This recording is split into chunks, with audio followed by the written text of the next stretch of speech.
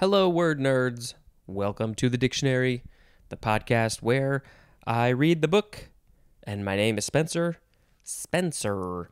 And uh, it's uh, I, t- I say the things that I think about when I read the book. All of the things that are come into my brain, I basically just say. And then I apologize if you're not into that, but I hope it's entertaining for you. Um, you can go rate and review this podcast on Apple Podcasts and other places. That would be great to see more of that come through. Uh, if you want to contact me in some form or follow me on social media, you can go to at dictionarypod on Instagram and Twitter, where I sometimes post some things. And uh, there's a Facebook page as well. And there is a Google Voice number where you can call and leave a message if you want to say something for some reason. There's an email address, dictionarypod at gmail.com.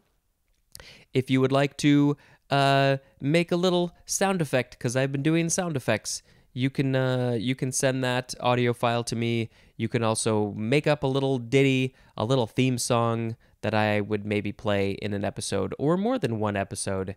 Uh, you can send me that audio file either on a voicemail or more likely an email. Send it as an attachment, an audio file attachment in an email. That would be great.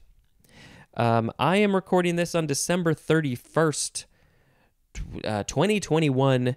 It is currently 10:22 a.m. Central Time, and uh, the last two episodes I recorded today as well, in order. Uh, in case you want to, you know, put these all together in some way. I don't, I, I don't know, I don't know. Okay, last section of page 275. Um, yeah, the first word is co-payment. Co hyphen payment. Noun from 1966. A small fixed fee that a health insurer, as an HMO, requires the patient to pay for certain covered medical expenses, and examples of those would be office visits or prescription drugs. And uh, often this is just called copay, which was at the end of yesterday's episode. Uh, and yeah, you know, if you got insurance, sometimes you got to pay, you know, $20, $40, something like that for the copay, which is pretty cheap when you don't have to pay for all the other stuff. Okay, next word. Uh, what am I go- what am I to do for the sound effect? Fwa! It is COPD, all caps. This is an abbreviation for chronic obstructive pulmonary disease. And I uh, read that a while ago. I think we probably had a little bit more extra information, but this is a uh, this is a lung disease that is a problem, and I don't believe there is a cure for it. And uh, people have to be on oxygen. Uh, so um, yeah, um, I yeah, it sucks. I don't know what else there is to say about that. Moving on to. It is the first form of cope, C O P E, noun from the 13th century, one, a long, enveloping ecclesiastical vestment. Is that like a piece of clothing? I think it might be. It's not a cape, it's a cope, but it uh, also long and enveloping. Yeah. 2a, something resembling a cope as by concealing or covering, as in the example, the dark sky's starry cope. And that is a quote from P.B. Shelley. Is their name Peanut Butter Shelley? I don't think so. Number two is the synonym coping, C O P I N G, which we will see later this episode. Uh, this is from Old English, uh, so it looks like it's a suffix because it says hyphen and then cap and there's a line over the a so it, maybe it's pronounced cop i don't know it's also from the lower latin capa which means head covering. So maybe maybe it's a thing that you put on your head but it's long and it goes down like a cape. I don't know. Do we have to find a picture? Possibly. Next word. It is the second form of cope, transitive verb from the 14th century, and it means to cover or furnish with a cope, whatever that is. Next, foi, third form of cope, verb from the 14th century, uh, starting with intransitive. Number one is obsolete. The synonyms are strike and fight. 2a, to maintain a contest or combat, usually on even terms or with success. And this is used with the word with. Cope with, combat, okay. Good times. To be, to deal with and attempt to overcome problems and difficulties. And this is often used with the word with again. As in, learning to cope with the demands the demands of her schedule. Oh, that's if you your schedule is so bad, you have to cope with your schedule. That's tough. You know, there are people who have bad schedules. I know nurses usually work like 12-hour shifts, sometimes more, doctors, lots and lots of hours. That is the schedule that you would have to cope with and that's that's tough. Um, okay, number 3 is archaic. The synonyms are meet and encounter.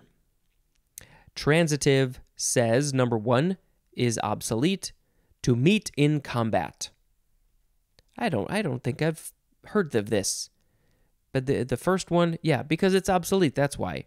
We're, I'm going to cope. I'm going to cope you in combat. I don't know. Number 2 is also obsolete, to come in contact with. Yep, never heard of that. And number 3 is also obsolete and the synonym is match. So is that like a combat match or matching socks. This is from Middle English, copen, or coupin, from Anglo French, couper, which means to strike or cut, uh, from the word cop or culp, which means blow, from Lower Latin, colpus, which is an alternative of Latin colaphus, which is from Greek kolaphos, which means either buffet or buffet. I think both are words, but I don't know which one this is. I don't know, man. Moving on. Foi. It is the fourth form of cope. This one is a transitive verb from circa 1901. 1. To shape, to fit a coping, or conform to the shape of another member. And the example of the thing that you are shaping is a structural member. I don't know what this is. To shape a structural member to fit a coping or conform to the shape of another member. I don't know what these things are. I don't know. Do you? Uh, cope. Yeah, I don't think I'm going to see this in my life much, this word. Number two, uh, the synonym is notch. N O T C H. and you can hear my voice is starting to fade because I'm recording. This is the third episode. I I used to record four, and I would be done by four, but now I'm done by three. Is this a problem? Maybe it is. Okay. Next word. Oh, uh, that's probably from the French word couper, which means to cut. Mm, notch, cut. Yep, that makes sense. Next word. It is kopeck, C O P E C K. It is a variation of the same word with a K. Next word, hua. It is copepad. No, copepod. Copepod. Noun from 1836. Any of a large subclass, Copepoda or Copepoda, of usually minute freshwater and marine crustaceans. And copepod is also an adjective. So what's what's with the name, man? Uh, this is from the Greek kopi. I think that's how they would say it. That means oar or handle, like the oar of a boat, or handle. Uh, from pod or pos, which means foot, probably akin to the Latin capere, which means to take, and there's more at the words heave and foot. So I mean, yeah, we've seen. Uh, oh, what are they? Uh, cap, uh, ca, cap, cap, capapod, cap. Oh, why am I blanking on what it is called? You know, the the squids and the octopus, and the, they're called. Um, I why can't I not think of it? It's something with a C and ends with pod. It's like head pod put together. Um, so these though are copepod. The only thing that I'm seeing is the foot, and why why did they put foot in the name? They are uh, small freshwater and marine crustaceans. That's all the information I get. Maybe again we'll have to f- post a picture. Next word, foie. It is coper, noun from 1825. This is British, and it means a horse dealer. A horse dealer, especially a dishonest one. So they're dealing in horses, selling horses, buying horses, all that stuff, but they are often very dishonest. Um, it is from the English dialect word cope, which means to trade. So they are a coper. Lots of trading. Next word, foi. It is Copernican. Capital C O P E R N I C A N. Adjective from 1667. Number one, of or relating to Copernicus, or the belief that the Earth rotates daily on its, on its axis and the planets revolve in orbits around the sun. Uh, who is the guy before Copernicus? Because yeah, Copernicus was the one who said, "No, no, the the planets don't revolve around the Earth. The Earth and the planets revolve around the sun." I think that's what it's saying. Uh, but there was somebody else before him who said that the Earth was the center, and they were like, "Well, how do we, how do we, uh, how can we figure out why, why did the planets move this way? If the Earth is in the center, they had to draw maps of the planets and how they moved, and they were very weird shapes, so it didn't really make any sense. But then, once Copernicus came around and said, "No, no, no, it's the sun that we go around," then everything started to make a whole lot more sense. Number two, for Copernican, of radical or major importance or degree, as in, affected a Copernican revolution in philosophy. So I'm guessing that it means that major importance because the what Copernicus said of changing the way that the planets and stars move was a huge major step, huge importance. Anyway, that phrase, affected a Copernican revolution in philosophy, is a quote from the Times Literary Supplement, and I do not know what they were talking about. Something big in philosophy. Copernican is also a noun, and Copernicanism is a noun. Uh, this is from Nicolaus Copernicus. Nicolaus, N I C O L A U S. And maybe I will quickly just put in a clip here of the They Might Be Giants song where Copernicus is mentioned. Call the men of science and let them hear the song. Tell them Albert Einstein and Copernicus were wrong. The world's address. Next word. Fua. Copernic. Nope. It is Copernic. Copernicium. Copernicium noun from 2009. 2009. A short lived, artificially produced radioactive element that has 112 protons. And it says to go see the element table. So I don't think I realized.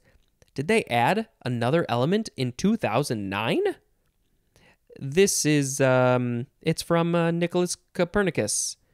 He got he got an element named after him.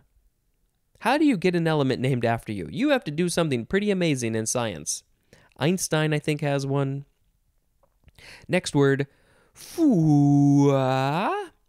It is copestone. One word, noun from 1567. One, a stone forming a coping. But what what coping might we be talking about? Oh, it's the one that we haven't gotten to yet. Um, number two, a finishing touch. And the synonym is crown. A crown, it's a coping, a thing that sits on top. It's a finishing touch. Next word, copier. I think most people, uh, if you got a printer, you probably also have a copier.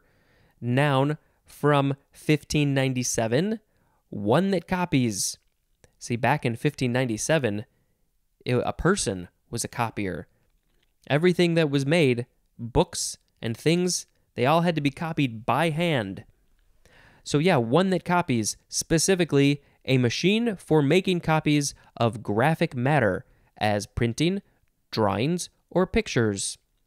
But yes, that's what it is now, but back in the day, it was not a machine. Next word, foi. It is co pilot, noun from 1927, a qualified pilot who assists or relieves the pilot but is not in command. They don't get to say what's going on, but they do help. Next word. I feel like I probably should have read that one like a co pilot. Uh, yes, this is uh, Spencer, your co pilot for this podcast. Uh, it, it is a, uh, a qualified pilot who assists or relieves the pilot but is not in command. Moving on. Coping, C O P I N G, noun from 1601, the covering course of a wall, usually with a sloping top. The covering course of a wall. It's made with a copestone. Um, maybe we will post a picture. I would like to see it. Would you? Next word, fwa. Coping saw. I, th- I feel like I've used this sound effect before. Maybe I have. I don't know. We're going to have to redo some. Coping saw, noun from 1925, a handsaw with a very, very narrow blade held under tension in a U shaped frame and used especially for cutting curves in wood. Uh, narrow blade under tension, U shaped frame. Trying to visualize it. Uh, yeah, maybe we'll post a picture of this one too. This one's getting a lot of pictures in this episode. We haven't had any for a while. Um, yeah. Okay, moving on to our last word.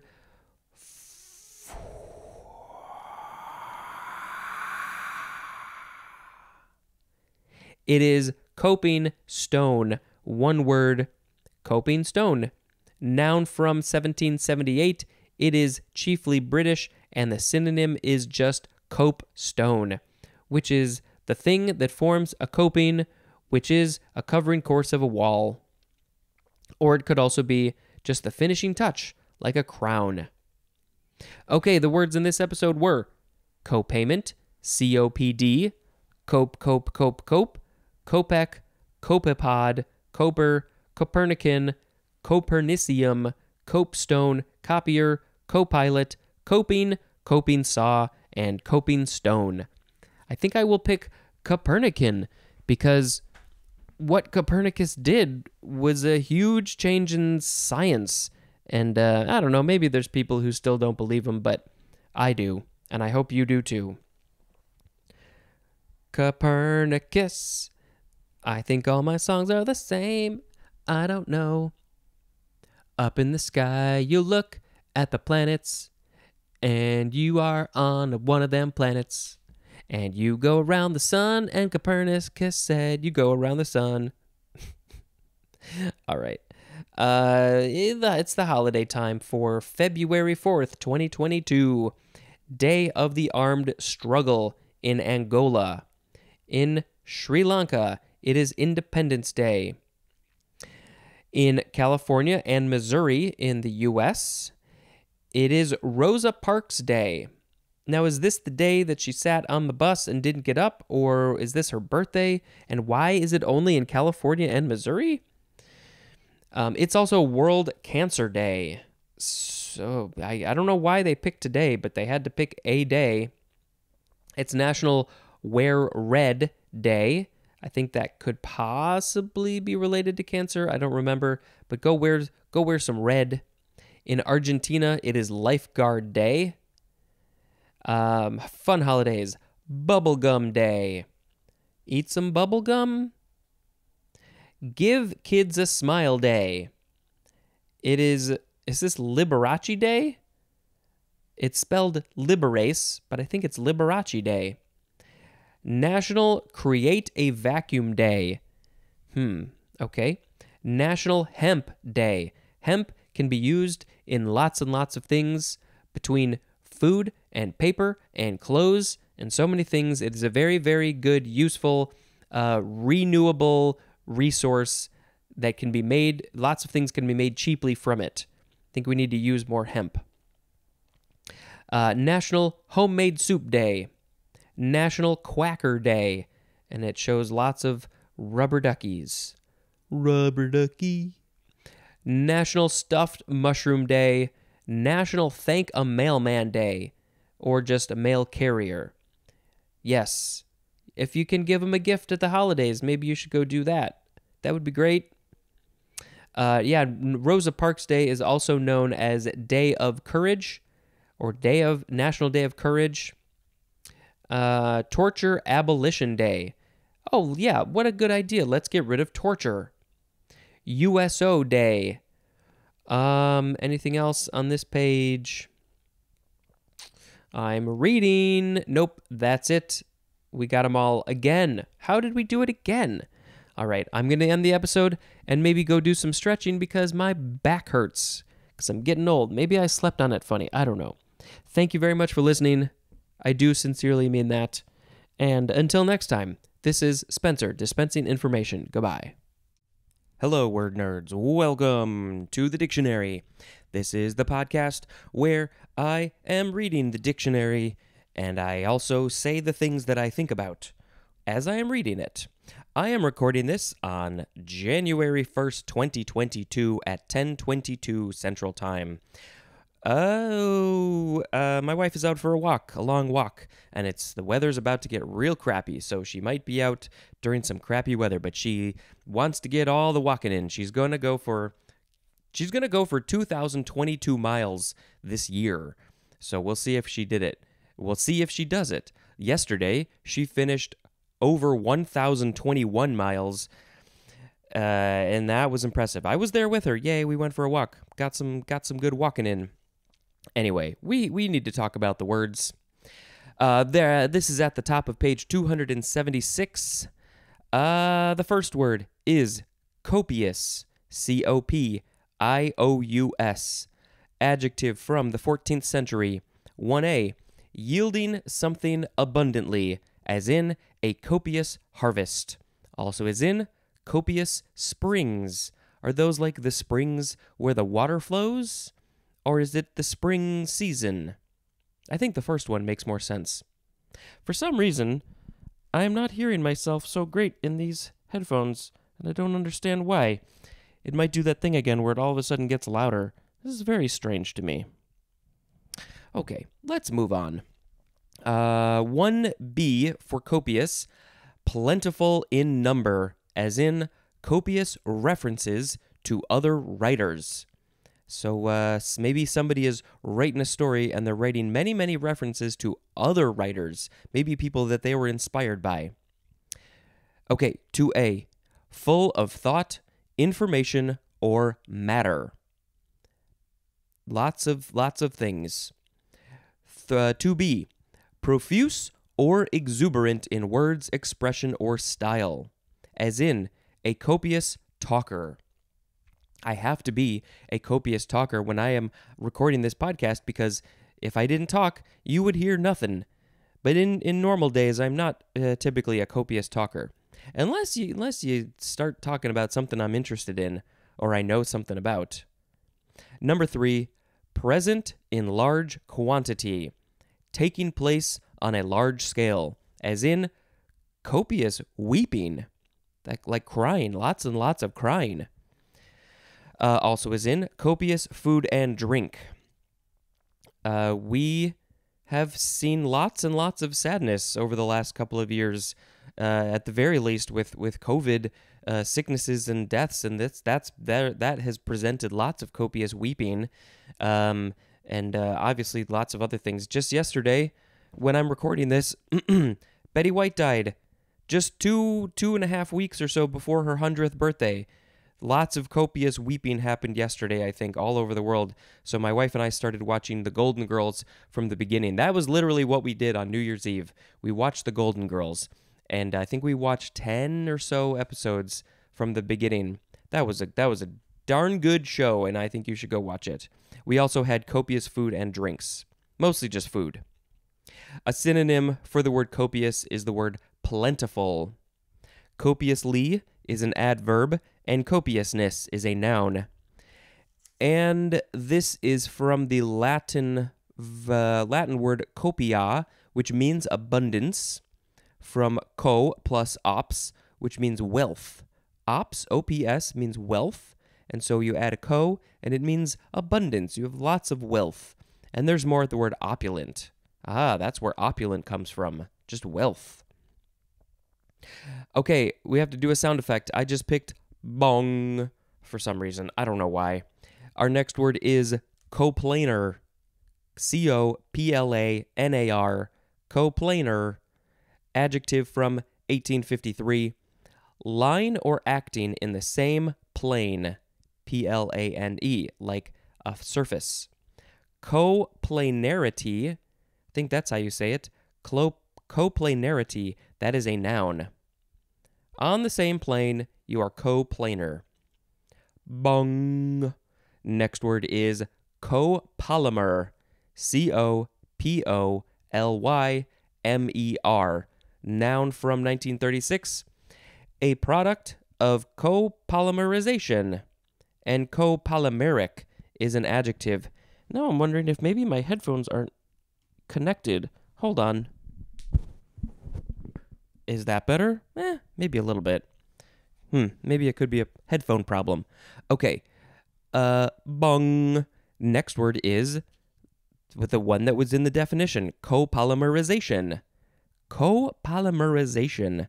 That would be a fun one to try and figure out backwards as well. Noun from 1936 the polymerization of two substances as different monomers together. So the, the substances could be different monomers. Would you say monomers? Monomers. That's a weird word. So it's just the polymerization of two substances together. You're putting them together. And copolymerize, no, copol, copolymerize or copolymerize, that is a verb. You can say it either way. Bong. Next is cop out. Two words with a hyphen, noun from circa 1942. One, the act or an instance of copying out. when you cop when you do a cop out, you are copying out. Two, an excuse or means for copying out. And the synonym is pretext. Hmm. Three, a person who cops out is a cop out. That cop out copped out while they were copping out. Next word, bong bong bong. It's cop out again. This one has no hyphen, but it is two words. It is an intransitive verb from 1952. One, to back out. Oh, that's the end of that one, but the example is uh, backing out of an unwanted responsibility, as in the example, cop out on jury duty. I think many people have done that. I think I, I have mixed feelings. It's like, on the one hand, yeah, it's my duty as a person of the citizen of the United States to be part of a jury duty, but then sometimes you're like, but I don't wanna. I just don't wanna. Number two, to avoid or neglect problems, responsibilities, or commitments, as in, accused the mayor of copying out on the issue. Hmm. He shouldn't have done that. Or she. Doesn't matter. The mayor shouldn't have done that. Next word. Bung. It is copper. Then a lot of these are going to be copper related uh, through the rest of this episode. This is the first form of copper noun from before the 12th century. 1. A common reddish metallic element that is ductile and malleable and is one of the best conductors of heat and electricity. And it says to see the element table. Uh, so it's malleable. It can be moved around fairly easily. You look at, you know, uh, a copper wire, you can move it really easily. Ductile. What does ductile mean? I don't know exactly in this context. Um, and then yes, it is a very good conductor of heat and electricity. Uh, so yeah, that's uh, that's why they use it in houses, so you can conduct your heat and your electricity. Number two, a coin or token made of copper or bronze. So a copper coin could be made from bronze. Uh, pennies are supposed to be made from copper, but I'm not even sure if they are anymore. Um, and I think there was a time when they definitely were not. Was it during the war or something? The war. Um, okay. Number three for copper is chiefly British. It is a large boiler, as for cooking. The kind of boiler that you use for cooking, they call it a copper. Maybe because it was made out of copper. Four, any of a subfamily of small butterflies with usually copper colored wings. And I think we may have to post a picture of that. Um, the subfamily is Lycaeninae of the family Lycaenidae. And it's spelled with letters L Y C's other other letters. Um okay, let's look at the etymology uh, from from the Latin coprum, no, cuprum, which means copper, from uh, the Latin, let's see, cyprium with a capital C, cyprium, uh, which literally means cyprium metal. So yes, it's just a, it's kind of metal. Not sure what cyprian is though. Uh, bong, bong. Next word, second form of copper, transitive verb from 1530 to coat or sheath with or as if with copper. So if you are coppering a thing, you are coating it in copper. That makes sense. It's logical. Bong. Third form of copper, noun from 1846, and the synonym is police officer. Next word, bung. It is copperas. Copperas. Copper with an AS. Noun from the 14th century. Uh, the synonym is ferrous sulfate. F E R R O U S, and then the word sulfate. Uh, and then copperas uh, it is from the, let's see, Middle Latin cuperosa, which is probably from aqua cuperosa, which literally means copper water. Copper water. Hmm. And ferrous, oh God, that is, um, is that copper? Is it fair? It's a iron? Might be. I feel like it's iron. Iron? I don't know. I don't know. But this word was copperas. Bong, bong, bong. Next word is copper beech. Beech has two E's. This is two words. Noun from 1846. A beech with shining coppery red leaves that is a widely planted cultivar of a beech native to Europe. So it's a beech, uh, a beech tree. I think that's a tree native to Europe, um, and it's got coppery red leaves. So they just call it a copper beech. By the way, the scientific name is, I think it says Fagus sylvatica. F A G U S, sylvatica. Next word, bung. It is copperhead. One word, noun from 1775. One. A common pit viper of the eastern and central U.S., usually having a copper colored head and often a reddish brown hourglass pattern on the body. Probably something you may want to stay away from. The scientific name is, oh boy, let's see if I can read this. There's not enough light in this room, and, and the letters are very tiny. Um, should I use the flashlight on my phone? Would that help? Let's see. It does. So the scientific name for this common pit viper is and it goes over to the second line Agkistrodon, Agkistrodon contor, contortrix. Agkistrodon contortrix. That is an amazing name. Okay, number two for Copperhead is a person in the northern states who sympathized with the South during the American Civil War. Why were they called a Copperhead? Do we have a reason? There must be a reason. Something, there's some reason. So yeah, people somebody who lived in the north and they were like, "Well, but I like the, what the south has to say, but I live in the north, so I will I will call myself a copperhead." I don't know if they called themselves copperhead. That's a history part that I don't know. Bong. Next word, copperplate. One word, noun from 1663. One, an engraved or etched copper printing plate. Also, a print made from such a plate. Two, a neat script handwriting based on engraved models.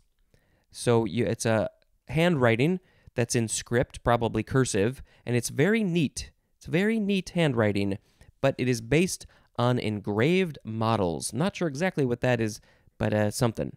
Copperplate. Maybe they engraved it on copper plates. Next word, copper pyrites. I think that's how you would say it. Two words, noun from 1757, and the synonym is just the word chalcoprite. How do you say this? I don't remember. Chalcoprite. Chalcopyrite. Chalcopyrite. Apologies. Next word, bong. Coppersmith. One word, noun from the 14th century. A worker in copper.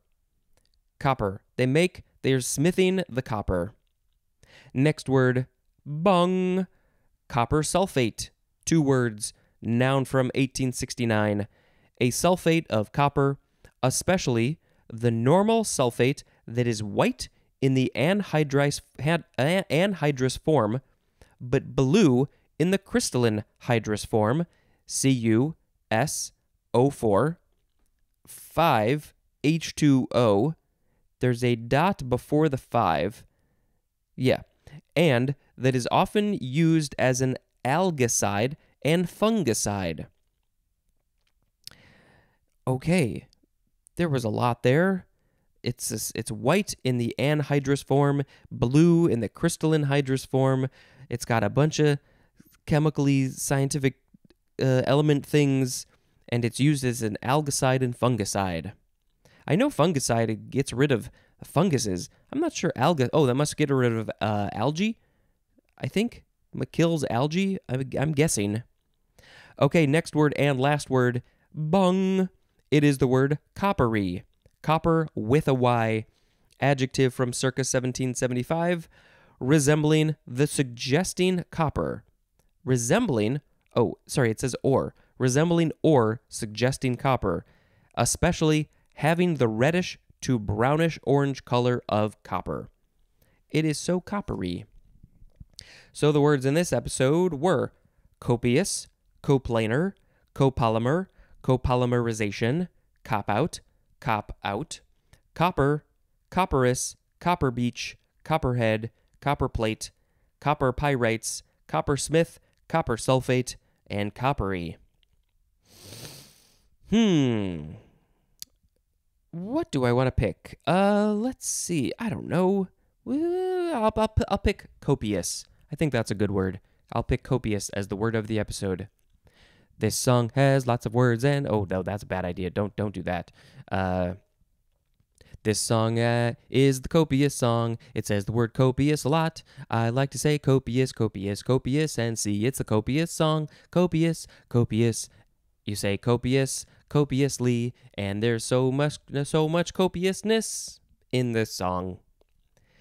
It's early. I'm tired. Uh, okay, so it's time to read the holidays. Uh, in Mexico, it is Constitution Day. In Denmark, it is Crown Princess Mary's birthday. In Pakistan, it is Kashmir Solidarity Day. In San Marino, it is Liberation Day. In Finland, it is Runeberg's birthday. In Burundi, it is Unity Day. Um, it is National Weather Person's Day. Uh, let's see, I think we read those. In Peru, it is Pisco Sour Day, which is a Peruvian liquor. In India, it is Vasant Panchami. In Mexico, it is Constitution Day of Mexico. What do the fun holidays have to say? It is California Western Monarch Day. That is the butterfly. Probably not the uh, the copper butterfly that I read here, although the the wings are on the orange side, not quite coppery. It is Disaster Day. Huh. That's no fun. Ice cream for breakfast day. I love it. International Clash Day. Is that the band The Clash? I feel like I've read these before, but maybe not. Um, move Hollywood and Broadway to Lebanon, Pennsylvania Day. This is fascinating. So, somebody in Lebanon, Pennsylvania said, I'm going to make a day where we try to move Hollywood and Broadway. Can you imagine moving both Hollywood and Broadway to a town in Pennsylvania or just anywhere together? Interesting. National Chocolate Fondue Day, National Fart Day, and it shows a picture of beans. Go f- let out let out your farts all over the place. Uh, okay, National Shower with a Friend Day. You may not want to sh- fart in that shower though. Don't f- when you fart in the shower, it smells very bad very quickly, and it has to do with the moisture in the air. I don't I can't be the only one who knows this or who has done this. Uh, yeah, go shower with a friend if you want. Uh, you, I, yeah, no judgment. Take your child to the library day.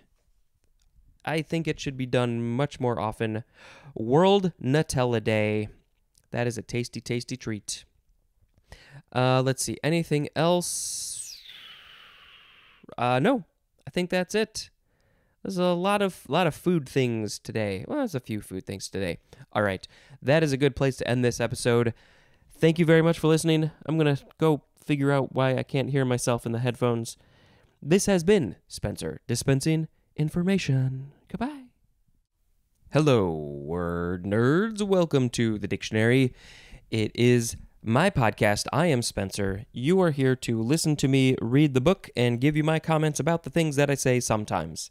Sometimes I just read a thing and that's it, and no comments come out. Uh, I get I get weird. I get singy. I make sound effects. I read the holidays at the end for about another month, and then maybe I'll do something else. I don't know. I'm just glad that you are here, and I hope that you are letting people know that you can hear the dictionary read out loud by some dude. Um, in yesterday's episode, I couldn't hear myself very well. Um, I don't know. I think it was maybe the connection on the thing, so I moved the cable to a different thing, and it, it seems a bit better. I think it's a bit better. Okay, you needed to know these things. I am still recording this on January 1st. Now it is 1046, and let us record another episode, and that may be all I record today. Okay, the first word in this episode is coppice. C O P P I C E, first form, noun from 1534. 1. A thicket, grove, or growth of small trees is a coppice. 2. Forest originating mainly from shoots or root suckers rather than seed. Shoots or root suckers? That would be an interesting band name in some way. Spencer and the Root Suckers. I, what are root suckers? And what are shoots? I mean, I know shoots, but do they not come from seeds? In, mm, interesting. Okay, this is a Middle English word, or from the Middle English word spelled C O P I E S, and that is a cut over area overgrown with brush. Um, from the vulgar Latin uh, colpare, which means to cut. Um, from lower Latin colpus, which means blow, and there's more at the word cope. Okay, next word, quee. That's my sound effect for today. It is the second form of coppice verb from 1538 to cut back, so as to regrow in the form of a coppice. And I assume, oh, that was transitive, by the way. Uh, so I guess it's uh, you're cutting it back so it regrows in the form of a thicket grove or growth of small trees. Maybe that one or in the number two one. I'm not sure which one, but it all has to do with uh, uh, lots of um, uh, growing things, things that grow, uh, but they have been cut. That's the main thing that I'm figuring out from this. Uh, and then intransitive says to form a coppice. Uh, but specifically, if we're talking about a tree, it is to sprout freely from the base. Okay, well, that is where trees grow from. But does this mean that if you cut down a tree and the stump is still there, then another tree will grow from that trump? We've seen that. Trump? Why did I say trump? Stump. Uh, so maybe another tree. I see. I combined stump and tree. That's where that happened. Um, so would a if it happens all the time. A tree grows from a dead tree. Uh, so would that be a coppice, or is that act coppicing? I need a scientific. I need a smart person to tell me these things. Let's move on to qui. It is the prefix copr or copro, um, and this means oh dung or feces, uh, as in coprolite. And we are going to see uh, a bunch of words that use this prefix in this episode. Lots and lots of words that I am not familiar with in this episode. Uh, so, yes, the prefix copper, copper or copro means dung or feces. So, this is going to be a very fun episode. This is from Greek, copper or copro, with a K from Kapros, which is akin to the Sanskrit sak. I don't know how to pronounce it. S A K R T. I have a sneeze. Thank you. Uh, so the Sanskrit word is S A K R T, and that means dung. But I want to know how to pronounce it. Sakert? I don't know. Okay, let's get into it. What's next? It's not one of those words. It's not a it's not a poop. It's not a poop word. It is the word I have to do my sound effect. Quee! It is copra or copra, C O P R A. It is a noun from 1584. Dried coconut meat yielding coconut oil. This is a Portuguese word, copra, from a Malayalam word, koppara, so yeah, Malayalam, I think that that's a language, and their word uh, K O P P A R A, koppara. Uh, it probably just means coconut meat yielding coconut oil. Okay, next word, qui. It is co-processor, noun from 1980, an extra processor in a computer that is designed to perform specialized tasks as mathematical calculations. So, yeah, if you got more than one processor, you got co processors.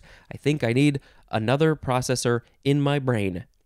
Moving on to qui co product.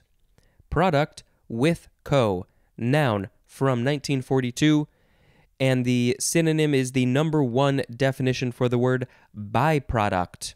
by hyphen product. Uh, yeah. By so that's it. It's probably a thing that uh, the byproduct when you create a thing and then there's something else that comes along with it or is left over. That's kind of byproduct. Okay, go to the end of the bees if you want to hear me read it appropriately. Quee! This next word is coprolalia. C O P R O L A L I A coprolalia, noun from 1886. This is oh, fun, obsessive or uncontrollable use of obscene language. You swear a lot and you cannot control all the swears coming out of your mouth and you are obsessively doing it. Is this an actual condition that people can have. I mean, I know that uh, when people have Tourette's, there are often a lot of swears that come out, and that is uncontrollable. I don't know if it's obsessive, um, but maybe this is something else. I don't know. Or maybe just people who are constantly swearing all the time, obscene language. There's a lot of words that can be part of that. Uh, you can say, You got the coprolalia. I don't know. I mean, I swear a fair amount when I'm not reading this book to you and not uh, at work, uh, but not not to the extent of this. This is a great word. Quee. Next word is coprolite. Copro, C O P R O L I T E. Noun from 1829. It is fossilized excrement. And this is uh, definitely using that C O P R O prefix. Fossilized excrement. Coprolitic is an adjective. So, yeah, you can find fossils of bones and eggs and things, but yes, there I guess they've also found fossilized poop from probably dinosaurs. Do we need to post a picture of fossilized excrement on social media? I, th- I think we probably need to. We need to normalize this stuff. Um, I don't know. I thought I had something else to say about fossilized excrement. I don't. It's called coprolite. If you see COPR or COPRO before something, there's a 50 50 chance it has to do with poop. What about this word? Quee! Uh, how do you say this one? Coprophagous. Coprophagous. C O P R O P H A G O U S. Coprophagous. Adjective from 1826. This is feeding on dung. Something that eats dung is coprophagous. Uh, and coprophagy, coprophagy is a noun. Um, what what does this? What is there? Are there creatures that do this regularly? Probably. Maybe maybe fungi. Fungi probably does that. I don't think dung beetles actually eat dung. I think they just roll it into a ball. But why do they do that? There must be a reason. Um the the etymology isn't terribly helpful. We know the first part. Yeah. Okay, next word. Quee. This is going to be interesting. Let's find out what it says. It is the word coprophilia. C O P R O P H I L I A. Noun from 1923. I feel like I need to read it first before I say it out loud. Um, yeah, this is a uh, this is more of an adult uh, adult themed word. So deal with that how you want to deal with that. If you want to pause, skip ahead, fine. If not, fine. It's a word in the English language. It is marked interest in excrement. I guess you could say marked. So uh, you have a lot of interest in the poop from things, but especially it is the use of feces or filth for sexual excitement. And there's no judgment here. Sometimes people are interested in those things. People people are interested in lots of different things when it comes to sex, and that's just the way they are. The the when it becomes a problem is when it's going to hurt somebody else. We're going to say this forever. That is that is a problem. But if it's not hurting anybody else and it's for your own excitement and it makes you happy, then it's fine. Don't worry about it it's fine. But to some of us, it might seem kind of weird. I wouldn't do this, but that's me. You might like it. That's fine. We're, we're not going to talk about this anymore, um, other than the fact that we're going to say that coprophiliac is a noun. Okay, next word. Um, again, related to poop. This is the big poop section until we get to the word poop. uh, quee! It is Copra coprophilous. Coprophilous. It's an adjective from circa 1900, growing or living on dung. Uh, as in the example, the example, the example, Coprophilous fungi. And yes, fungi. Fungi, they're just going to eat whatever. They they they don't scavenge, but they just feed on organic matter. And so uh, yes, they are uh, where did it go? They grow on dung. They live on dung. They are probably uh, coprophagous. They eat it, and uh, it makes them grow strong. Um, yep. There's probably other things too, but I think fungi is definitely the biggest, the biggest uh, example of something that grows or lives on dung. Um, are there certain kind of fungi that grow out of dung? And what do they look like? You got to go watch that movie. Fantastic fungi. Mm, it's great. Next word, quee. It is copse, C O P S E. I'm sorry, we are done with all of the poop words. Uh, this is a noun from 1578, and it is the number one definition for the word coppice, which is a thicket, grove, or growth of small trees. Okay, next word, quee. It is copt, capital C O P T, noun from circa 1520.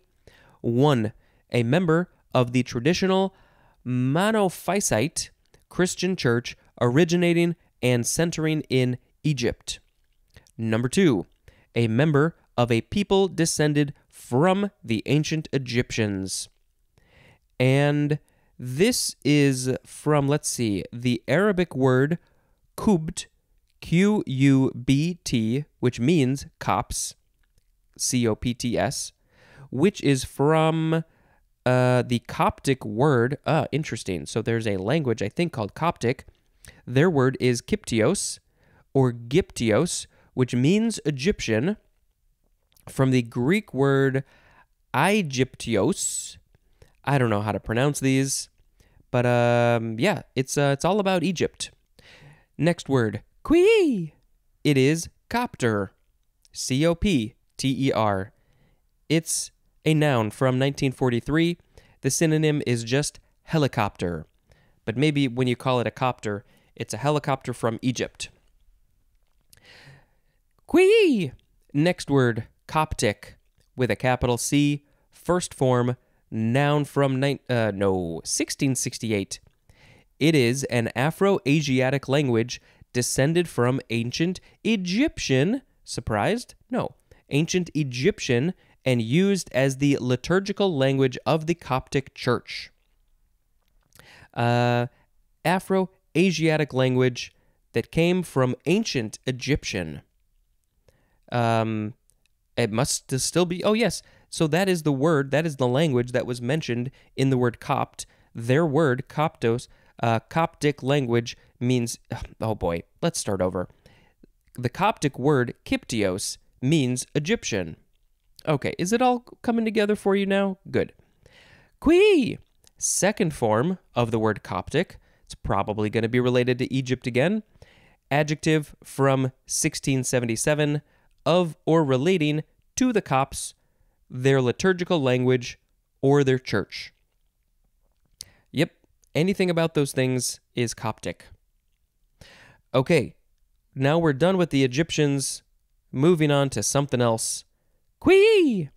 It is the word copula, C O P U L A, noun from 1619, something that connects, as A, the connecting link between subject and predicate of a proposition, and B, the synonym is linking verb.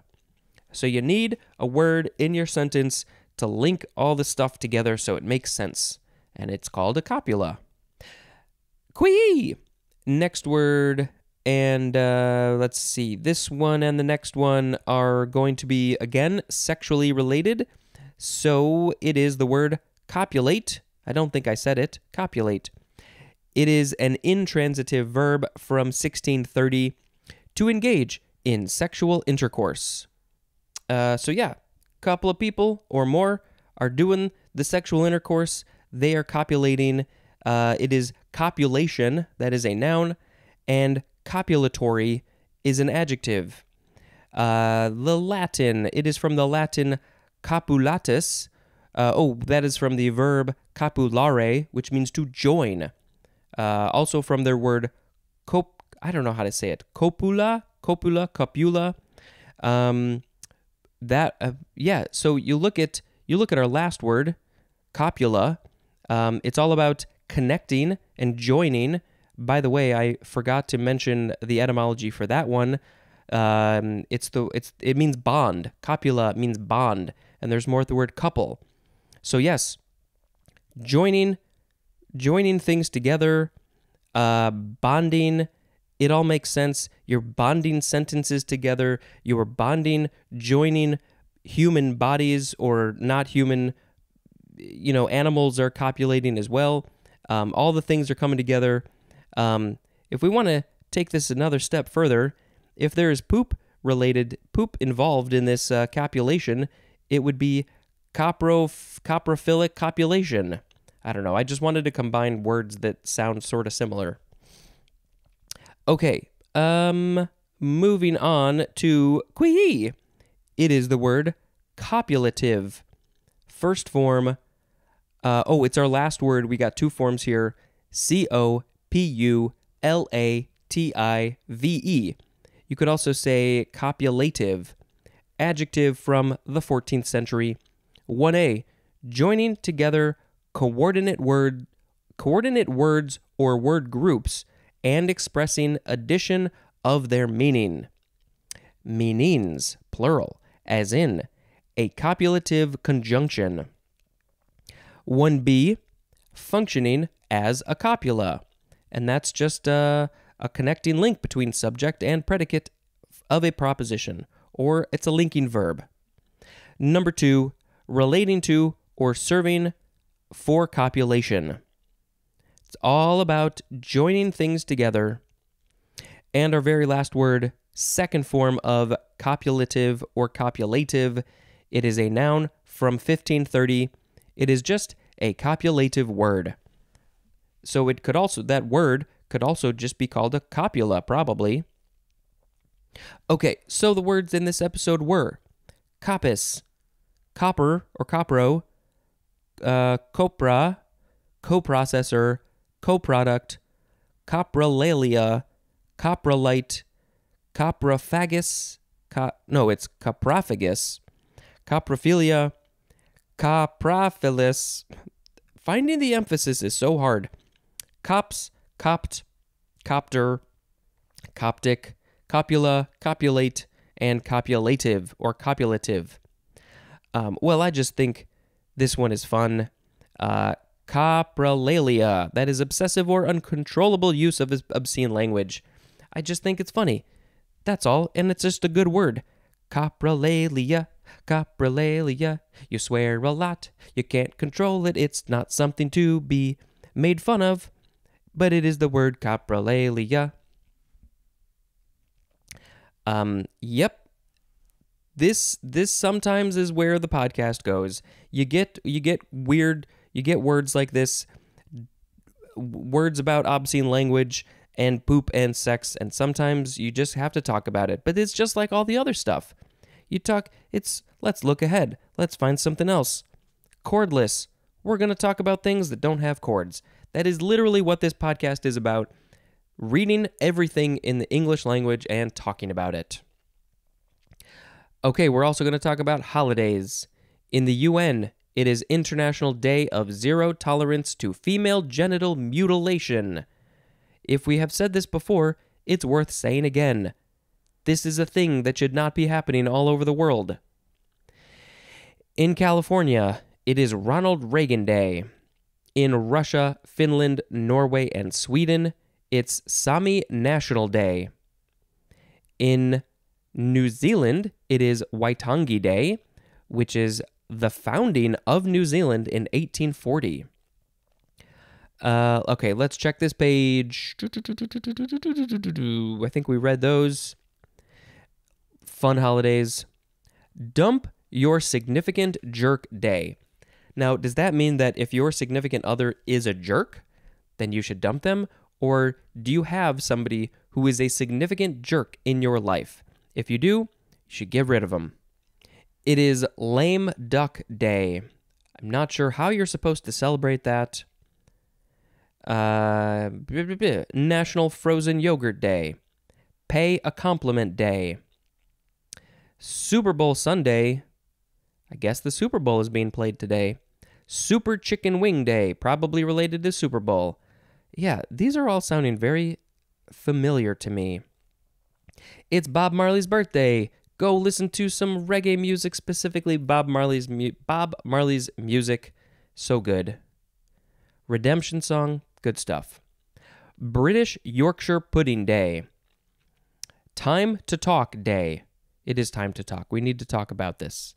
What are we going to talk about? I don't know. We'll find out what we're going to talk about in tomorrow's episode when we get there.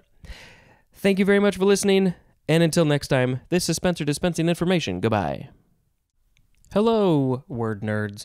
Welcome to the dictionary. This is my podcast where I read the book and I tell you what I think about it.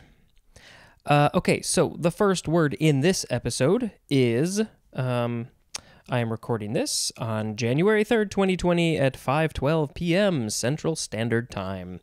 Okay, the first word is copy. C O P Y. It is the first form noun from the 14th century. 1. An imitation, transcript, or reproduction of an original work, as a letter, a painting, a table, or a dress. Those are examples of the original work, but those are the, you know, they're not the only examples, but it would be funny if they were the only possible examples. A letter, a painting, a table, and a dress. Just those things. Number two, one of a series of especially mechanical reproductions of an original impression. Also, an individual example of such a reproduction. Three is archaic, something to be imitated, and the synonym is model. Uh, something to be imitated, model. What? Like a like a like a model for a painting? And that would be the copy? I don't know, but it's archaic. For a matter to be set especially for printing. Matter to be set especially for printing. Would that be the uh, the text, the letters? I don't know. 4b, something considered printable or newsworthy, and this is used without an article, as in remarks that make good copy. That is a quote from Norman Cousins. Yeah, copy. Uh, this next one is similar for C. Text, especially of an advertisement. When when you hear people talking about the copy, it's the text, it's the writing. Could be, uh, you know, it could be a script, it could be an ad, could be uh, an article. It's the copy is the text. Number five, it is the number 1A definition for the word duplicate, and I think it would be duplicate in this situation and not duplicate, uh, as in a duplicate of a computer file, also as in a duplicate of a gene. I recently just saw a video on the internet that I think may have been computer generated. I'm not 100% sure, but I'm pretty sure it was of a cell duplicating itself, a cell copying, uh, separating, uh, and and it was the most detailed version of this I've ever seen, which is why I kind of think it was computer generated. Um, but I mean, you know, with technology, it could be real. Uh, but it was really interesting because there were all these little little things in inside. I don't know if they were the the genes or they were something. They looked like little cylinders, little uh, little somethings, and they were all in the center. And then as it separates, half of them go to one cell and half of them go to the other cell, and they move the, like the the gravity, the the physics of it moved very realistically. Although I don't know in the real world if that's how they move at such a small scale.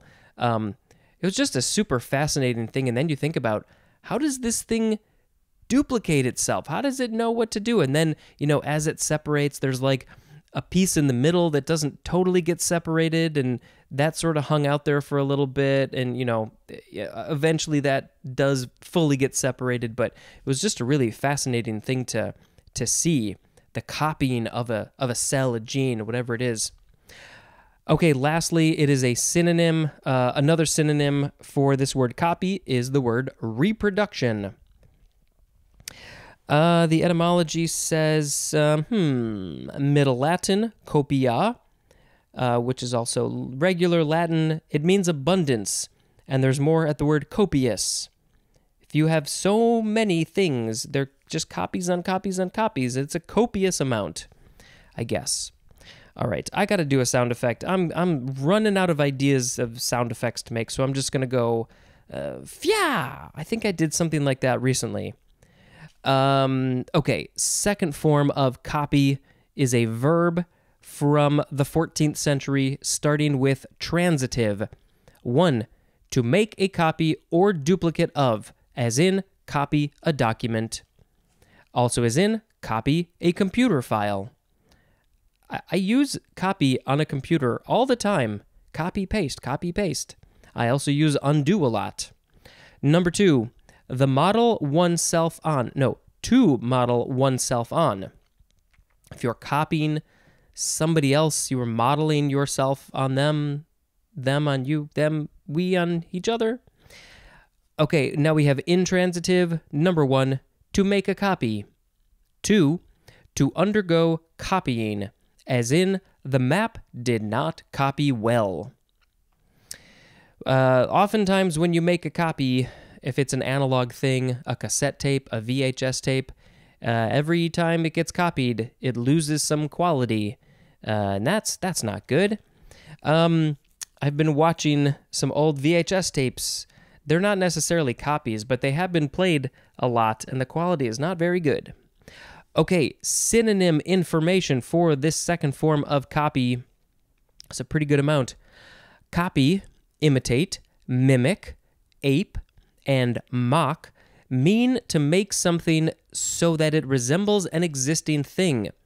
Copy suggests duplicating an original as nearly as possible, as in copied the painting and sold the fake as an original. It's not a nice thing to do, but impressive if you can do it. Imitate suggests following a model or a pattern, but may allow for some variation, as in imitate a poet's style. Mimic implies a close copying as a voice or mannerism, often for fun, ridicule, or lifelike imitation, as in pupils mimicking their teacher. Uh, I don't know why, but just for some reason throughout my life, I, this is a thing that I have done. I just sometimes can't help it, and it's not meant to be uh, in a ridicule in any way. It's just a, it's just fun to copy to mimic somebody. Uh, the way they say it, the way the way they say things. Uh, okay, ape may suggest presumptuous, presumptuous, slavish, or inept imitating of a superior original. Ape, APE, may suggest presumptuous, slavish, or inept imitating of a superior original, as in American fashion designers aped their European colleagues. So that must mean their European colleagues are the superior original. Mock usually implies imitation with derision, as in mocking a vain man's pompous manner. Mocking a vain man's pompous manner.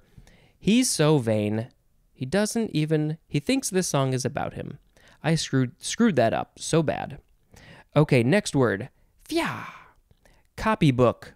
One word, noun from 1588. A book formerly used in teaching penmanship and containing models for imitation. So they this book would show you the quote unquote proper way to write things. Uh, and then it, you know you would you would copy from it. There would probably be sections where you could write. Uh, so as a, as a copybook, but you gotta find your own handwriting. Fya. Next word, copy boy. One word, noun from 1888. One who carries copy and runs errands, as in a newspaper office. Uh, they probably, I assume, would make copies as well, but they also carry copies, so they take copies from one place to another. Uh, and they also run errands. Fya. Next word is the first form of copycat. One word, noun from 1896. One, one who imitates or adopts the behavior or practices of another. I don't know, it doesn't say why the word cat is in here. So some so for some reason it just became copycat. Not copy dog, not copy hamster, not copy bird. Uh, maybe they used cat because of the k sound, copy cat. It was fun. There's alliteration. Number two, an imitative act or product, as in copycat board games. Next word is the second form of copycat, verb from 1926, starting with intransitive, to act as a copycat. And the transitive is just the synonym imitate. Fia. Next word is copy desk. One word, noun from 1921. The desk at which newspaper copy is edited. So this is not a copy being made. This is not an imitation. This is not a uh, an exact copy of the text. This is the text. It is not written. It's edited. It's edited here at the copy desk. It's the desk for the copy, the text copy. You get it? Okay, good. Fia. Next word is copy editor. Two words. Noun from 1899. One, an editor who prepares copy for the typesetter. So if we replace the word copy with text, the editor prepares the text for the typesetter, and the typesetter is the one who puts all the letters on the thing so then it can be printed up. And this I don't think really happens anymore. Number two, one who edits and headlines newspaper copy, just newspaper text. Uh, copy edit is a transitive verb. So the copy editor copy edits. Next word, fraw. It is copy hold. One word, noun from the 15th century. One, a former tenure of land in England and Ireland by right of being recorded in the court of the manor. Copy hold. Hmm. Interesting. I don't know why it's called copyhold. They have a hold on it, I guess. Uh, former tenure of land in England and Ireland by right of being recorded in the court of the manor. Uh, manor is M A N O R, by the way. Number two, an estate held by copyhold. The copyhold is held by copyhold. Here we go with next word, fia. Copy holder. They are probably the ones who hold the copy hold. Noun from 1847, one. One who reads copy for a proofreader. Okay, this is not at all what I thought. One who reads copy for a proofreader. Uh, so there's the proofreader, and then there's somebody else who reads the copy to the proofreader, and they are the copy holder. They hold the copy so they can read it out loud so the proofreader can proofread. I guess. Number two, for copy holder, a device for holding copy, especially for a typesetter. So both the typesetter and the proofreader need a copy holder, but sometimes I think it's the person and sometimes it's a thing. Interesting. Depends on the context. Next word, fya. Copyist. Noun from 1696. One. One who makes copies and two, the synonym is imitator. Next word, fjaw. Copy reader. Noun from 1892. I would think it would be one who reads copy. Uh, the synonym is the word copy editor. Copy read is a transitive verb. Next word, um, almost our last word, fia. It's the first form of the word copyright. C O P Y R I G H T. It is a noun from 1735. the exclusive legal right to reproduce, publish, sell, or distribute the matter and form of something as a literary, musical, or artistic work. Via. Second form of copyright, transitive verb from circa 1806 to secure a copyright on. And copyrightable is an adjective. Thea. Third form of copyright is an adjective from 1870, secured by copyright. And our last word is copywriter. This one is spelled C O P Y W R I T E R, the one who writes copy, probably. Noun from 1911, a writer of advertising or publicity copy. Okay, so in this episode, the words were copy, copybook, copyboy, copycat, copy desk, copy editor, copy holder, no, copy hold, copy holder, copyist, copy reader, copyright, and copywriter. Uh, let's see. What shall I do? Um, I will pick. Uh, hmm. I will pick copycat as the word of the ep- episode. Um, I don't know why. It's um, it's fun to be a copycat, and uh, it's a fun. There's some fun alliteration. Copycat, copycat. Go, go, copycat. Don't be a copycat. I don't know where I'm going with this song. Oh boy, it's a, it's a fine time to record a podcast. Okay, let's just read the holidays instead. It is Independence Day in Grenada, which is from the UK in 1974. It is National Black HIV AIDS Awareness Day in the US. Uh, so, obvi- so that is specifically recognizing HIV and AIDS in the black community. Um, why it's only in the U.S., I'm not sure. I'm sure there it's it exists in other places. Um, in Australia and Canada, it is Rose Day. In Mexico, it is Constitution Day of Mexico. Let's check this fun holiday page. Ballet Day. Go watch some ballet and uh, try to do some ballet moves. National Fettuccine Alfredo Day. National Football Hangover Day. And it says it's observed the day after the Super Bowl. I assume the Super Bowl is happening. I was just seeing some people talking about football, so I think it's happening. Uh, let's see. National Periodic Table Day. National Poop Day. It's also the day after the Super Bowl. oh boy. Uh, hate to be a janitor at various places after the Super Bowl. Um, National Poop Day. Man, I should have had a fart for the sound effect. It is Send a Card to a Friend Day. Wave all your fingers at your neighbor's day. So you can send a card to them and you can also wave your fingers. wave all of your fingers? uh, very odd. Uh, let's see. Anything else? Uh, National Sickie Day.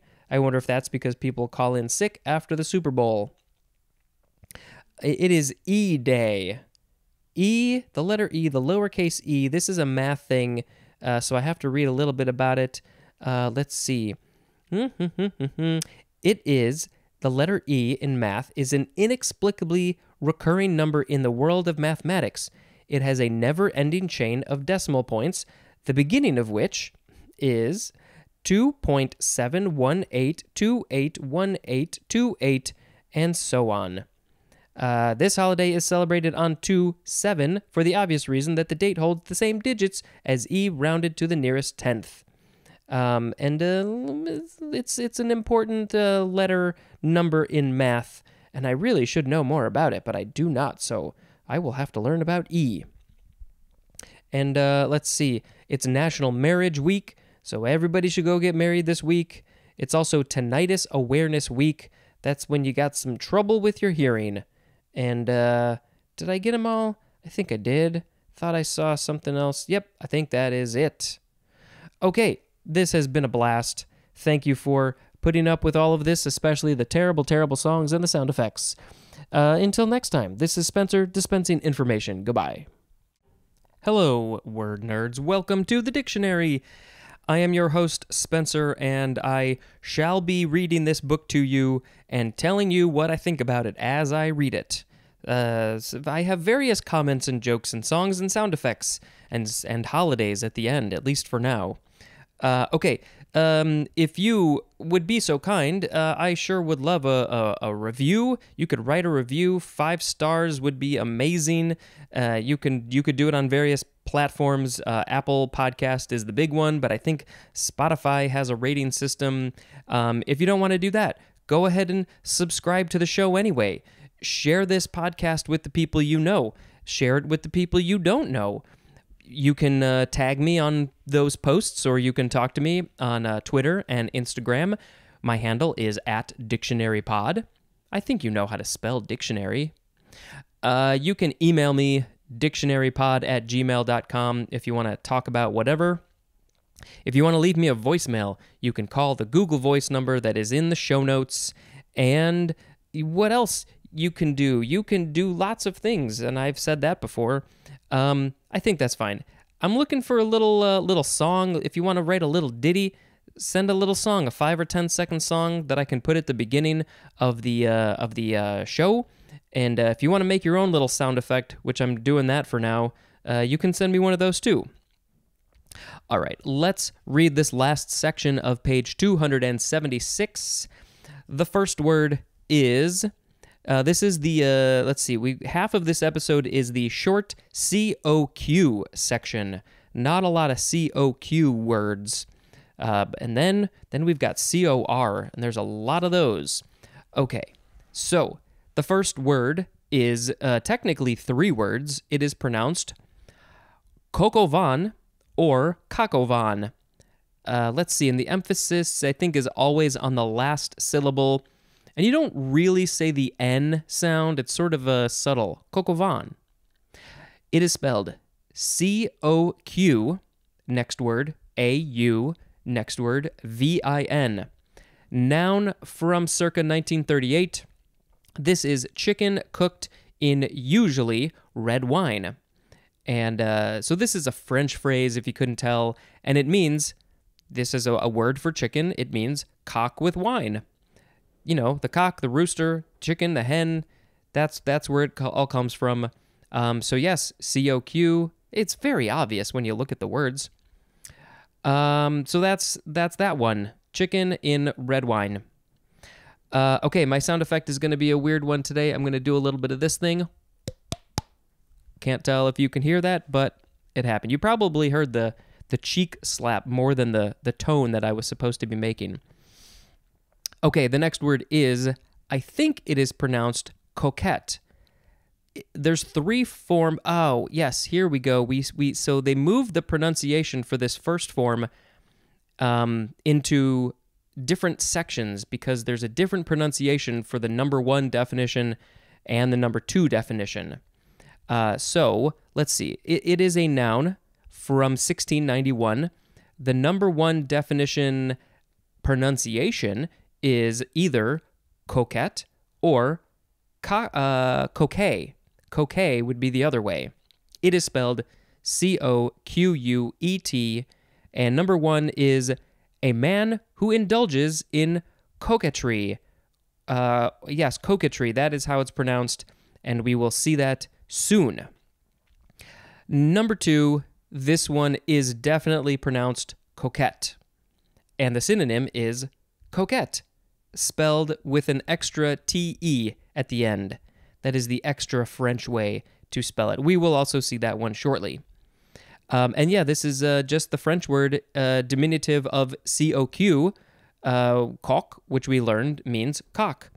Uh, but this one, this one, I don't think so much means chicken. We will we'll get into it later. Okay, next word. It is Again, coquette, spelled the same way, second form, adjective from 1697, and it is a characteristic of a coquette. That one is spelled with the E T T E. Um, and then the synonym coquettish.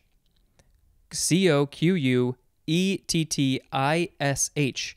So, characteristic of a coquette is either coquettish or just coquette, spelled differently. Confusing, it's very confusing if you're only hearing me describe it. You need to see this, it helps. Okay, next word. It is coquette again, third form. This one is spelled either the way that I spelled the other one, or you can also add that TE at the end. This is a verb, um, an intransitive verb from 1701. Number one, to play the coquette. And the synonym is flirt. And again, we will be getting to the official coquette word shortly, so it'll make a little bit more sense. But yeah, to play the coquette, also just flirt, is to coquette. Number two, to deal with something playfully rather than seriously. And the synonym for everything is the word trifle. To deal with something playfully rather than seriously. So, does that mean that there's a serious topic and you choose to deal with it in a playful manner, and so you are coquetting? You have coquetted? Um, yeah, I mean, I think I think that makes sense.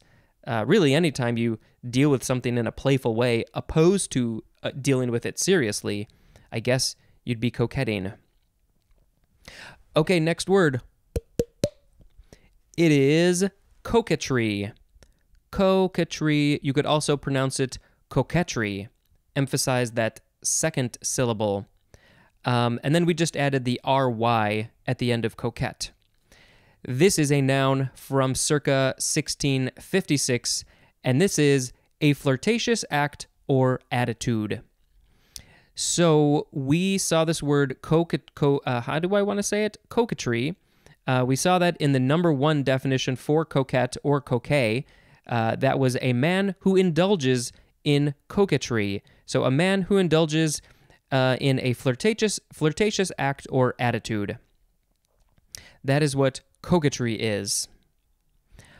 Um, uh, yeah, so that that's why I was thinking. Um, you know, when you look at the etymology for coquette, it just said cock, uh, the the French word for cock, and so that's why it's not so much of a chicken in this case, like the first word. We've gone into a new realm. Uh, okay, next word. It is coquette. Do you see any repetition here? Uh, this is the one that is spelled with an E T T E at the end. It is a noun from circa 1611. A woman who endeavors without sincere affection to gain the attention and admiration of men. So, this, you know, clearly this is the more feminine word, the female word compared, you know, coquette, coquette. For some reason, we've added an ETTE at the end of words when we want to make them feminine. And of course, these are incredibly uh, old words and terms that I don't think we really need to be using anymore. Um, but uh, let, let, me just reread that again because I wasn't totally paying attention. A woman who endeavors without sincere affection to gain the attention and admiration of men. Hmm. Yeah. This, you know, this you can you can um, bundle this word with a number of other words that people you like to use to talk about women, and I don't think the women like to use those words. At least they don't like to be called those words. So, uh, you know, that's what I'm gathering this word means. Um, but then, if you look at the male version of this, it's um, where did it go? A man who indulges in coquetry, a flirtatious act or attitude. So you know, they're they're similar definitions but the the female one, the woman one, has a lot more information, and I feel like a lot more. Um, what's the word I'm looking for? Um, connotation. There, there's more meaning behind the words in the uh, the coquette ETTE version. I don't know if anybody else is seeing that, but that's what I'm seeing. We can't get away from these genderized things. They're so ingrained in our language, our society, our culture. So so that's that. Uh, coquettish is an adjective. Coquettishly is an adverb, and coquettishness is a noun. And uh, yeah, it just says it's French. It's the feminine of coquette, spelled the other way. Okay, moving on. We're still in the COQs, but we're not talking about flirting or chicken. Next word is kokui. And I think, yes, actually, uh, you can pronounce it, I think, either kokui or koki. Koki.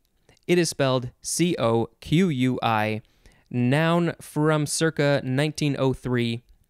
It is a small, chiefly nocturnal arboreal frog native to Puerto Rico that has a high pitched call and has been introduced into Hawaii and southern Florida.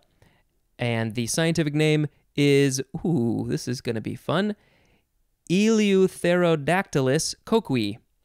I think I did it. Uh, it is from the American Spanish word coqui with the accent on the I, and uh, which probably just means frog or this kind of frog. Uh, let's see, it's mostly nocturnal, so it's awake at night. It's uh, arboreal, so it's probably in the trees. Uh, I have heard these frogs in person. I don't I don't know if I ever saw any. I think I may have. I don't believe I have any pictures, but maybe if I'm motivated, I will go look. Uh, but yes, they're these very small frogs. Uh, I was in uh, Puerto Rico for work a number of years ago, and that you know that's the big thing, the the coqui frogs. And I'm going to try to do this right now. In fact, if I had thought about this ahead of time, I would have made this my sound effect. I'm going to try to make the sound of from what I remember of this coqui frog, and I think I will have it close. I don't know if I'll be able to whistle quite high enough, but I think if I'm remembering correctly, I was able to whistle it pretty good when I was there. Let me see. Let me let me warm up. Please. Please let me warm up. Okay.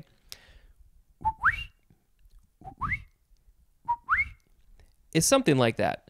Uh, maybe I'll put in some real audio of a coqui frog uh, so you can hear the difference. But you know, that's basically what they sound like. So at nighttime, if you're walking around, you hear that all over the place. It's it's pretty amazing.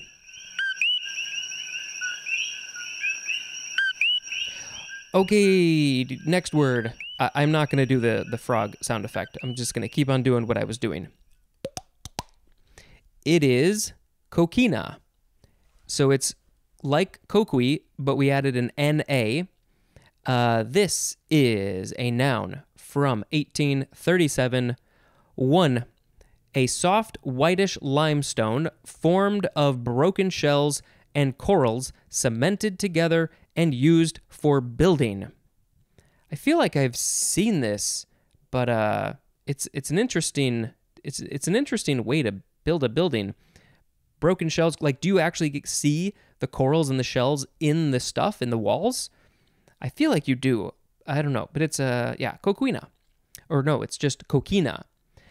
And then number 2, a small wedge-shaped clam used for broth or chowder and occurring in the intertidal zone of sandy Atlantic beaches from Delaware to the Gulf of Mexico. Uh, that so that's must be clearly where they got the name of the cement from these clams and other things. They just said, we're going to name it after this clam that we killed and put in our walls.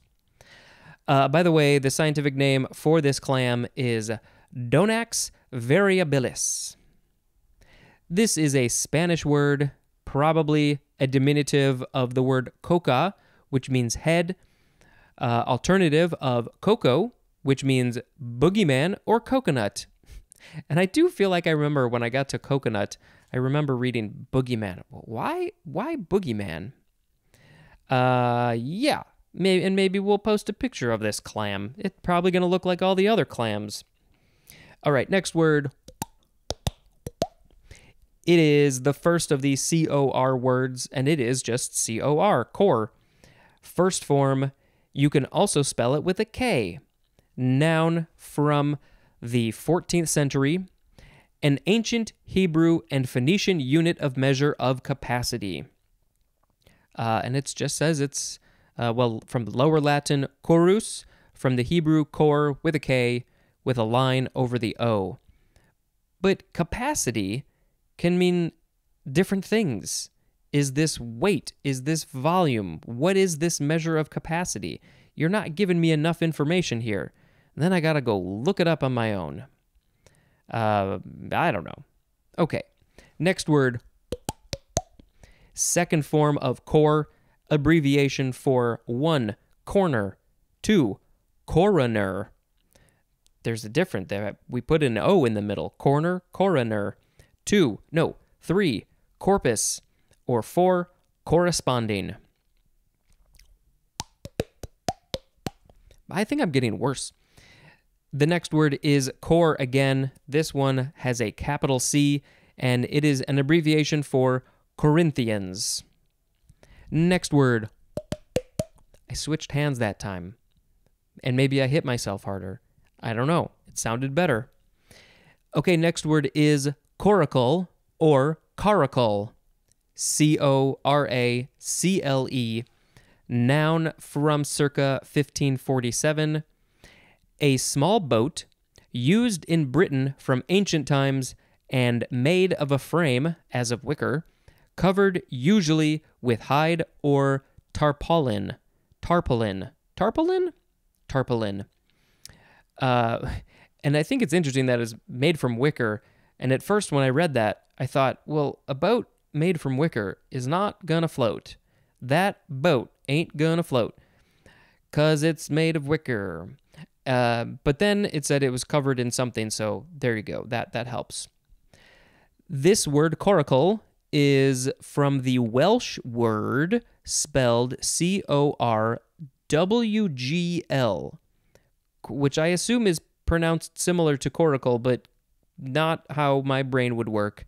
Welsh is one of the more interesting languages in the world. Corgugul? Um, yeah, a small boat. I wonder, like, how is it different from today's boats? Uh, maybe I shall find a picture. Next word. It is coracold or caracold. C O R A and then the word cold. Now, uh, no, no, no, no. Adjective from 1741 of relating to or being a process of the scapula in most mammals or a well developed cartilage bone of many lower vertebrates that extends from the scapula to or toward the sternum. And coracoid is a noun. So it's the process of the scapula in most.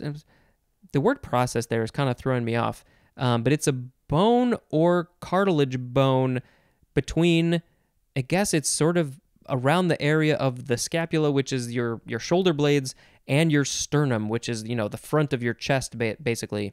Um, hmm, I'm I'm not familiar with this bone, or or uh, something related to this bone. The etymology says it is from the, the Greek coracoides, which literally means like a raven. Ooh uh, which is from corax, which means raven, and there's more at the word raven. Um, so we must be getting close to uh, the prefix core something that's raven related. I feel like uh, I don't know. Maybe we will. Maybe we won't. But anyway, that's a that's a cool a cool bone, a cool etymology. I like it. And then coracoid is also a noun, the bone and something related to that bone. Next word. It is coral. C O R A L. Noun from the 14th century. 1. Uh, 1A. The calcareous or horny skeletal deposit produced by anthozoan or rarely hydrozoan polyps. So, usually produced by anthozoan or sometimes produced, rarely produced by hydrozoan polyps especially a richly red precious coral secreted by a gorgonian. By a gorgonian? Uh, and the genus name of the gorgonian is Corallium. What is a gorgonian? Is it a fish? And that it somehow creates. Mm, I, I'm I'm sort of aware of this, but I am not coming up with it in my brain. So uh, yeah, I'm gonna have to look more into the gorgonian and how they create coral um, and uh, yeah, these are well, we could talk more about that at the end, but coral is super important and all over the world, big chunks of it are dying because of climate change. Yay. So we and we need the coral because it creates helps to create the habitat for other plants and animals in the water. And if those die out, then our water is going to get all messed up. It's a whole cycle. We need to save lots of things to save all the other things, including ourselves. Okay, 1B for coral. A polyp or polyp colony together with its membranes and skeleton. If you ever come across coral, if you ever come across coral, um, don't touch it. Don't take any pieces of it. Just leave it. Leave it there. Number two, a piece of coral, and especially of red coral. 3a, a bright reddish ovary as of a lobster or scallop. Um, hmm, I wonder why that's called coral. Uh, well, partly probably because it's reddish and it's in the water. 3b, a deep pink. I am very curious to know though, is the deep pink color that we think of as coral, is it similar to the red of the coral? Because so much of this is saying that it's mostly red, usually red. Uh, so that that's that's interesting. Why wouldn't we make the that red color called coral instead? But uh, maybe I'm wrong. Maybe they do look the same. But you between the word red and pink, you've gotta you gotta think those are not going to look the same. Coral is also an adjective, and coralloid is also an adjective, something related to a coral. And the etymology is not terribly interesting. Next word. It is coral bells. Coral bells. One word, noun from circa 1900. It is, uh, let's see, I think, oh, here we go.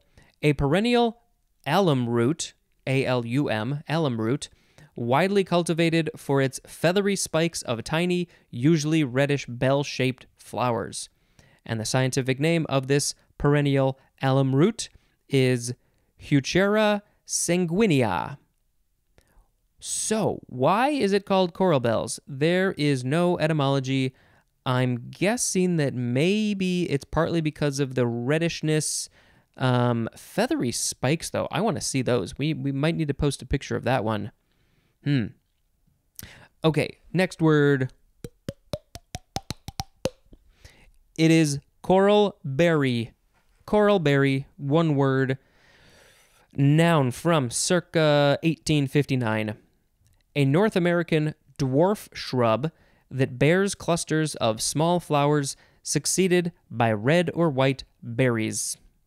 The scientific name of this North American dwarf shrub is Symphoricarpos orbiculatus, orbiculatus.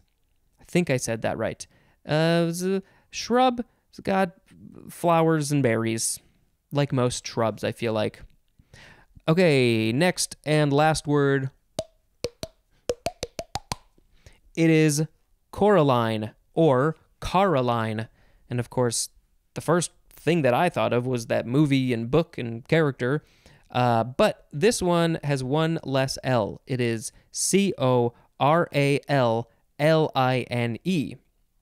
And if you were ever confused about that movie, Coraline, I mean, they make a whole big point about saying her name in the movie. Um, it's Coraline and not Caroline.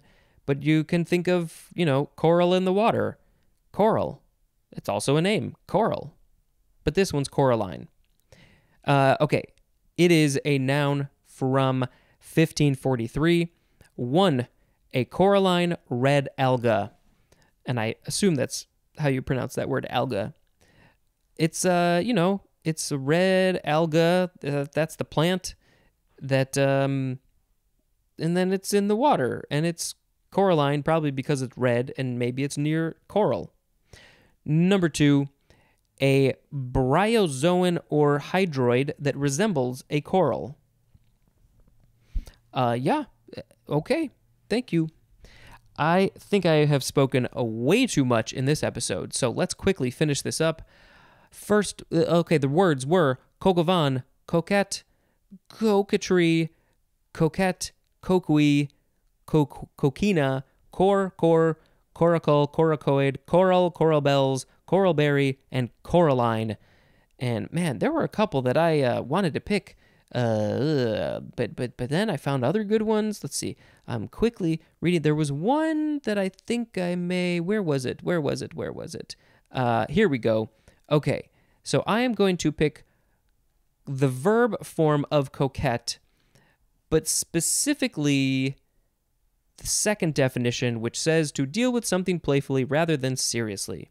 And sometimes it's great, sometimes it's great to coquette, where you don't take anything playf. No, you don't take anything seriously, and you only take it playfully. Um, all right, so what what do I have to do next? I need to read the holidays for this February 8th, which uh, you probably are not listening to this on. In um, some Mahayana Buddhism traditions, it is parin, uh, parinirvana, ah, parinirvana with a P A R I at the beginning, parinirvana day. What is that? Is that like partial nirvana? In Slovenia, it is Preseren Day. It's Propose Day. Who's celebrating Propose Day? Uh, let's see. I think that is good there. Fun holidays. It is Boy Scouts Day. I never did, never did nothing with the Boy Scouts. Uh, that was not a path that I took. I think it would have. I think I would have learned some very useful uh, things like starting a fire, and you know, not that I didn't learn a few of them later, but I think I would have learned some good skills. Um, it is Extraterrestrial Culture Day, Laugh and Get Rich Day. If I could get paid to laugh, that would be the best job ever. Can we make that happen? It is National Kite Flying Day, National Molasses Bar Day, Opera Day. Yeah, Propose Day. It uh, shows a picture of somebody proposing. Uh, let's see. Anything else? Mm, Safer Internet Day. Uh, safer in so many ways. I think that would be great. Uh, let's see. Safer to get less people being hacked. Safer where it's uh, people aren't getting, especially kids, aren't getting bullied. How can you make? How can you do that other than changing the people's minds? I'm not sure. But yes, let's make a safer internet. All right, that is enough. Thank you very much for listening. And until next time, this is Spencer dispensing information. Goodbye. Hello, word nerds. Welcome to the dictionary, which is the podcast that you have on right now. And it's also the one where I read the dictionary and tell you what I think about it. Uh, okay, so uh, we are at the top of page 277. The first word. Hopefully, I won't have as much to say about all the words in this episode like I did yesterday, uh, which I just recorded. Should I tell you, it's January 5th, 5:02 p.m., 2022 Central. Uh, okay, the first word is again coralline, C O R A L L I N E, adjective from circa 1633. One of relating to or resembling coral. Uh, the the last the first form was a noun that was in the uh, yesterday's episode. Uh, that's the noun version of a thing, couple of things. Uh, but this one is the uh, this is the adjective, so something resembling a coral. Two of relating to or being any of a family of calcareous red algae or algae, depending on how you want to say that word. I never know. I just go back and forth. Uh, the scientific name, no, the family of this uh, algae is Corallinaceae, something like that. Uh, this is French, feminine of coralline, which means coral like. That's good. Okay, next word. Surprised I didn't think of this sound effect earlier, although maybe I did. I don't think I did. I'm just gonna do a little like a little like a little cat, little cat purr. All right, next word is coral snake. Two words, noun from circa 1772. One, any of several venomous, chiefly tropical New World elapid snakes, brilliantly banded in red, black, and yellow or white that include two ranging northward into the southern U.S. Uh, the genus name of these elapid snakes is uh, Micro, Micrurus. Is that M I C R U R U S? Micrurus. Micrurus? Um, the two that it is talking about, those two that are ranging from northward into the southern U.S., uh, Micrurus fulvius and Micrurus, I think that's it, Micrurus uraxanthus. I think I got it all. Um, it's venomous. Stay away from it. It is banded in red, black, and yellow or white. So uh, red, black, and yellow, or red, black, and white. S- try and stay away from that. Maybe I should post a picture you can see because it's good to know what it looks like. Number two, any of several harmless snakes resembling the coral snakes. So things that aren't even called coral snakes get called coral snakes. Uh, why are they called coral snakes? It doesn't say. Is it the red? Do they live near in coral? Uh, it is tropical, a lapid. I don't know what a lapid means. Uh, maybe that means that they live in the water too? Huh, not sure. I, I assume most of you don't know what a lapid means either. Okay, next word. It is coranto. Coranto. Noun from 1564. The synonym is, uh, how do you say this? Corante, or is it just courant? It is spelled C O U R A N T E. Courant. I'm going to guess. I don't know what that is. We're not going to know for a while, so we don't know what Coranto is. Next word Corbin. Corbin, C O R B A N, noun from the 14th century, a sacrifice or offering to God among the ancient Hebrews. So the Hebrews got together and decided to give an offering or a sacrifice to God, which is called korban. Corbin? Corbin. Korban. Korban. Maybe it's korban. Noun. That's I already said that. Uh, this is Hebrew korban, which means offering. Next word, corbel or cor corbeille.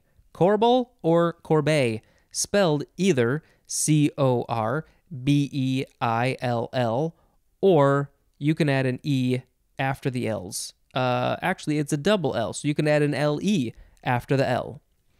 It's a noun from circa 1734, a sculptured basket of flowers or fruit as an architectural decoration. So, uh, yeah, I'm sure we've seen these. It's a, a sculpted basket. Are those like the, the ones in cement that people put in front of their houses?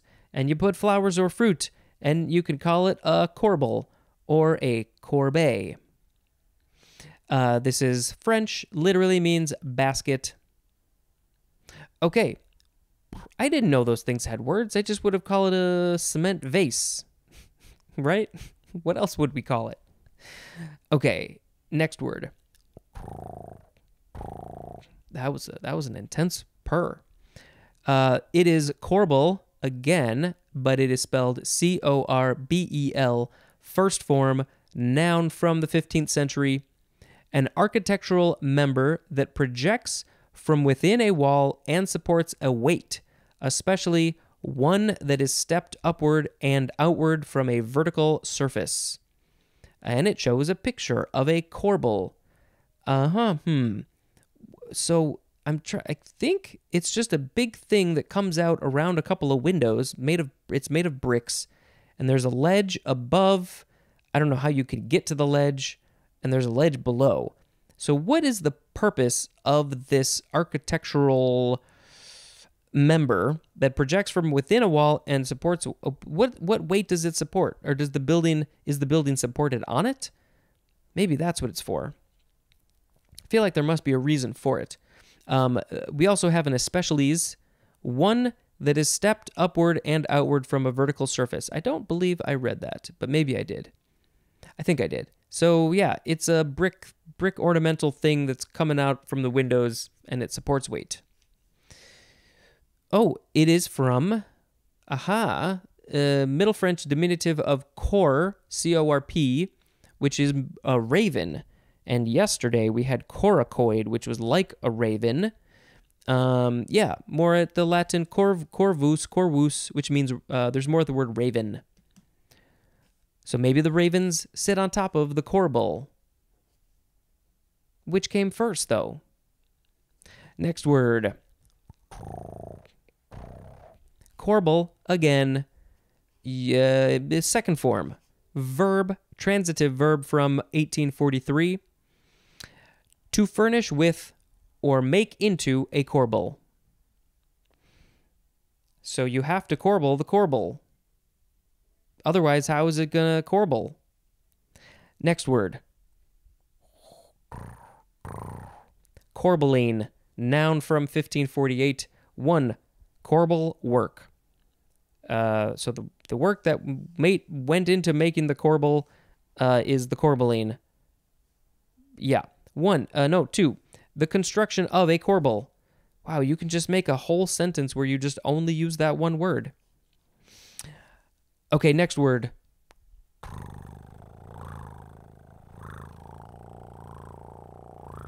That's a very happy cat. It is corbic- corbicula. Corbicula. C O R B I C U L A. Noun from 1816. The synonym is pollen basket. Oh, good. A pollen, no, a basket of pollen. That is exactly what I want right in my face. Uh, it is from the Latin corbis, which means basket. A pollen basket? What is a pollen basket? We'll find out later. Next word Corbie, C O R B I E, noun from the 15th century. It is chiefly Scottish. Yes, it does seem like a pretty Scottish word. The synonym is carrion crow, and then also the synonym raven. So we're getting closer to why these words are related to ravens, but they all start with C O R. This is from, hey, look at that, uh, the Latin corvinus, which means of a raven, and there's more at the word, here we go, corvine. I knew it in my brain somewhere, but I could not think of what it was. Uh, corvine is all about the ravens and probably the crows too. Those I think are also corvins, corvines.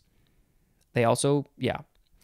Next word Corbina. C O R B I N A, noun from 1901, a coastal marine croaker favored by surf casters along the California coast. I do not know what any of this means. A croaker is that a fish? Is that a frog? What is a croaker? I have never heard of a croaker. Um, and it's favored by surf casters. Are these people who is it? Wait, what is a surf caster? Is that a fish? Is uh, are those just? Is that another term for people who like to go sur- a surfboarder? A surf caster? What's a surf caster? I I got no information from this one. Uh, the scientific name for this croaker is a um, Menticir,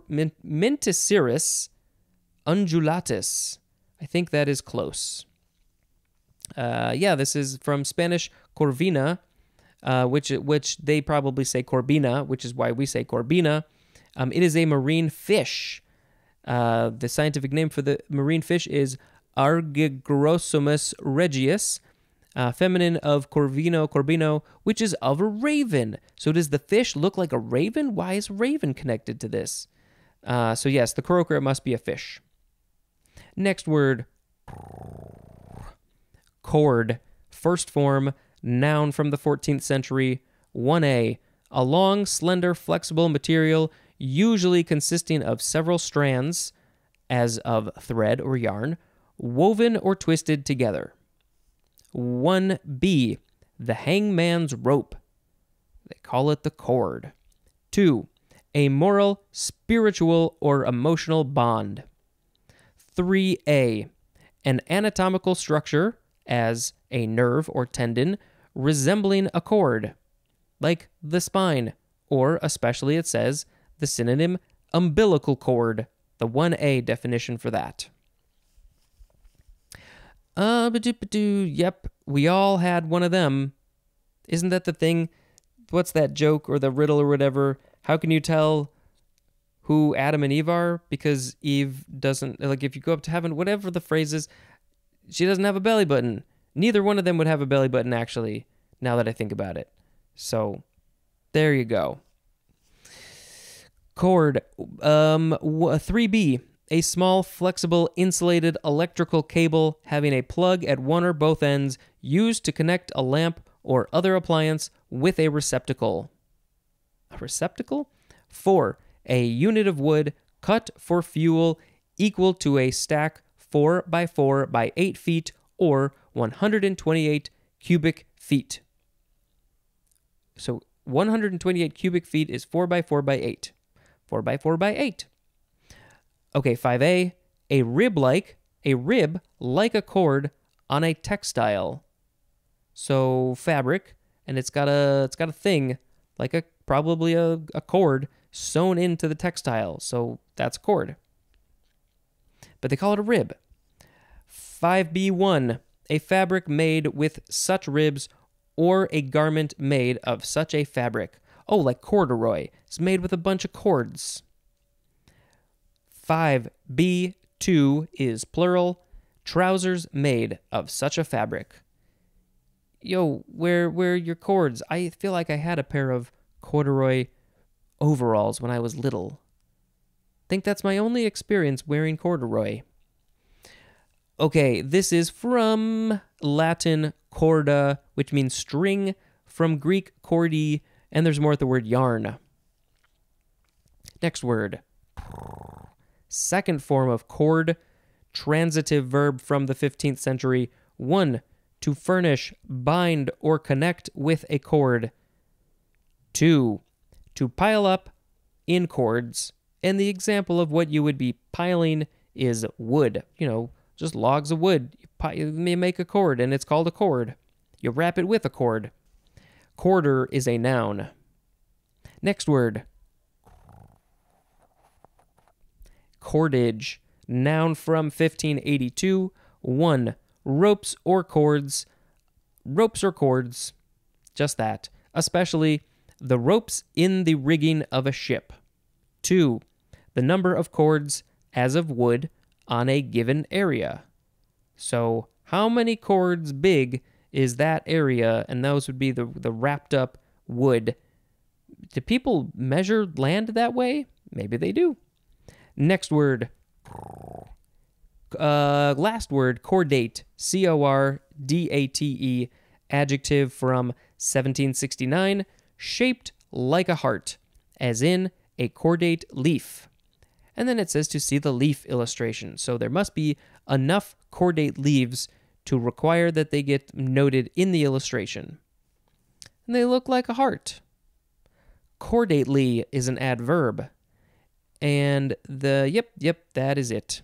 That's it. Okay, the words in this episode were coralline, coral snake, coranto, corban, corbel, corbel, corbel, corbel, corbel, corbel, corbeline, corbicula, corby, corbina, cord, cordage, cor- and cordate.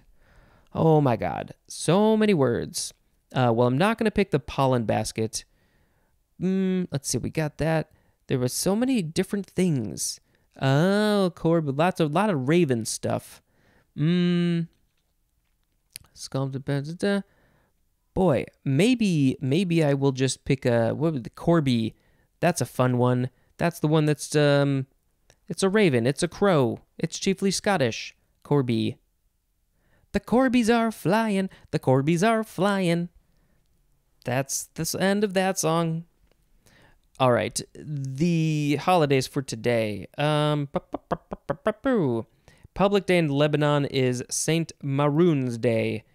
Uh, we can skip those things. Oh, hey, it's National Pizza Day. Ho, hey, it's National Pizza Day. Go get some pizza. Put on some pepperoni, but make it vegan pepperoni. that is being celebrated in Canada and the UK and the US. Fun holidays? Oh, it's chocolate day. Didn't we have already like two chocolate days this year? And I think that's uh, three chocolate days too few. We need more. Oh, interesting. It is National Cut the Cord Day. we just had all those cord words. And cordate. Uh, we really need to cut the cord. We have a bunch of streaming things. We pay too much for cable. Maybe, maybe I can do it on February 9th. That would be amazing. National Develop Alternative Vices Day. So maybe your vice, you don't like it so much, so go get a new one. Somebody once said to me, Everybody has a vice. What's your vice? And I don't think I had one. uh, National Toothache Day. Read in the bathtub day. Take a bath. Read a book. Don't fall asleep. That's it.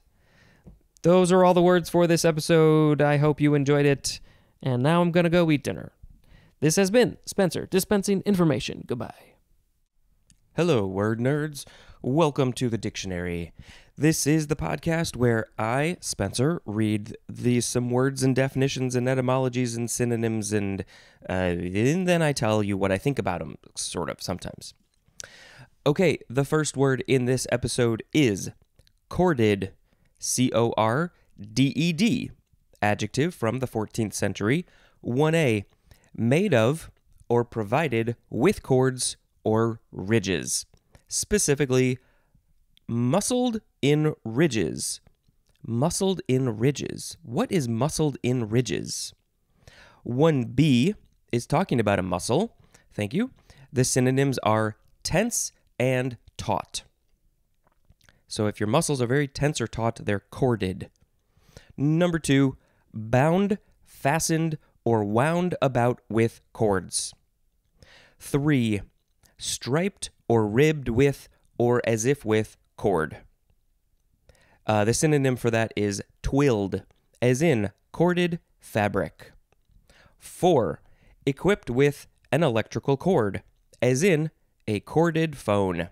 And all of the kids are saying, phones had cords? Okay, uh, next word, uh, sound effect is bloop, bloop. It is the word cordgrass. One word, noun from 1857. Any of a genus of chiefly salt marsh grasses of coastal regions of Europe, northern Africa, and the New World that have stiff culms and panicled spikelets. Stiff culms, C U L M S, and panicled spikelets. And the genus name is Spartina or Spartina. I don't know how they want me to say that. Bloop, bloop.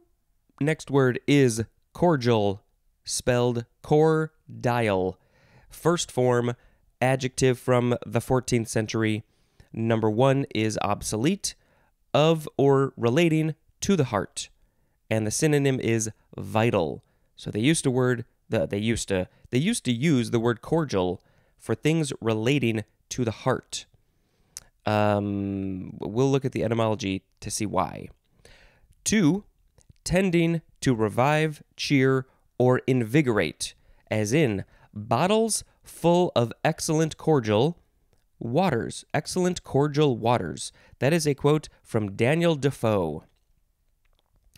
3a, sincerely or deeply felt, as in a cordial dislike for each other. A cordial dislike. Well, uh, that is um, sincerely or deeply felt. Okay.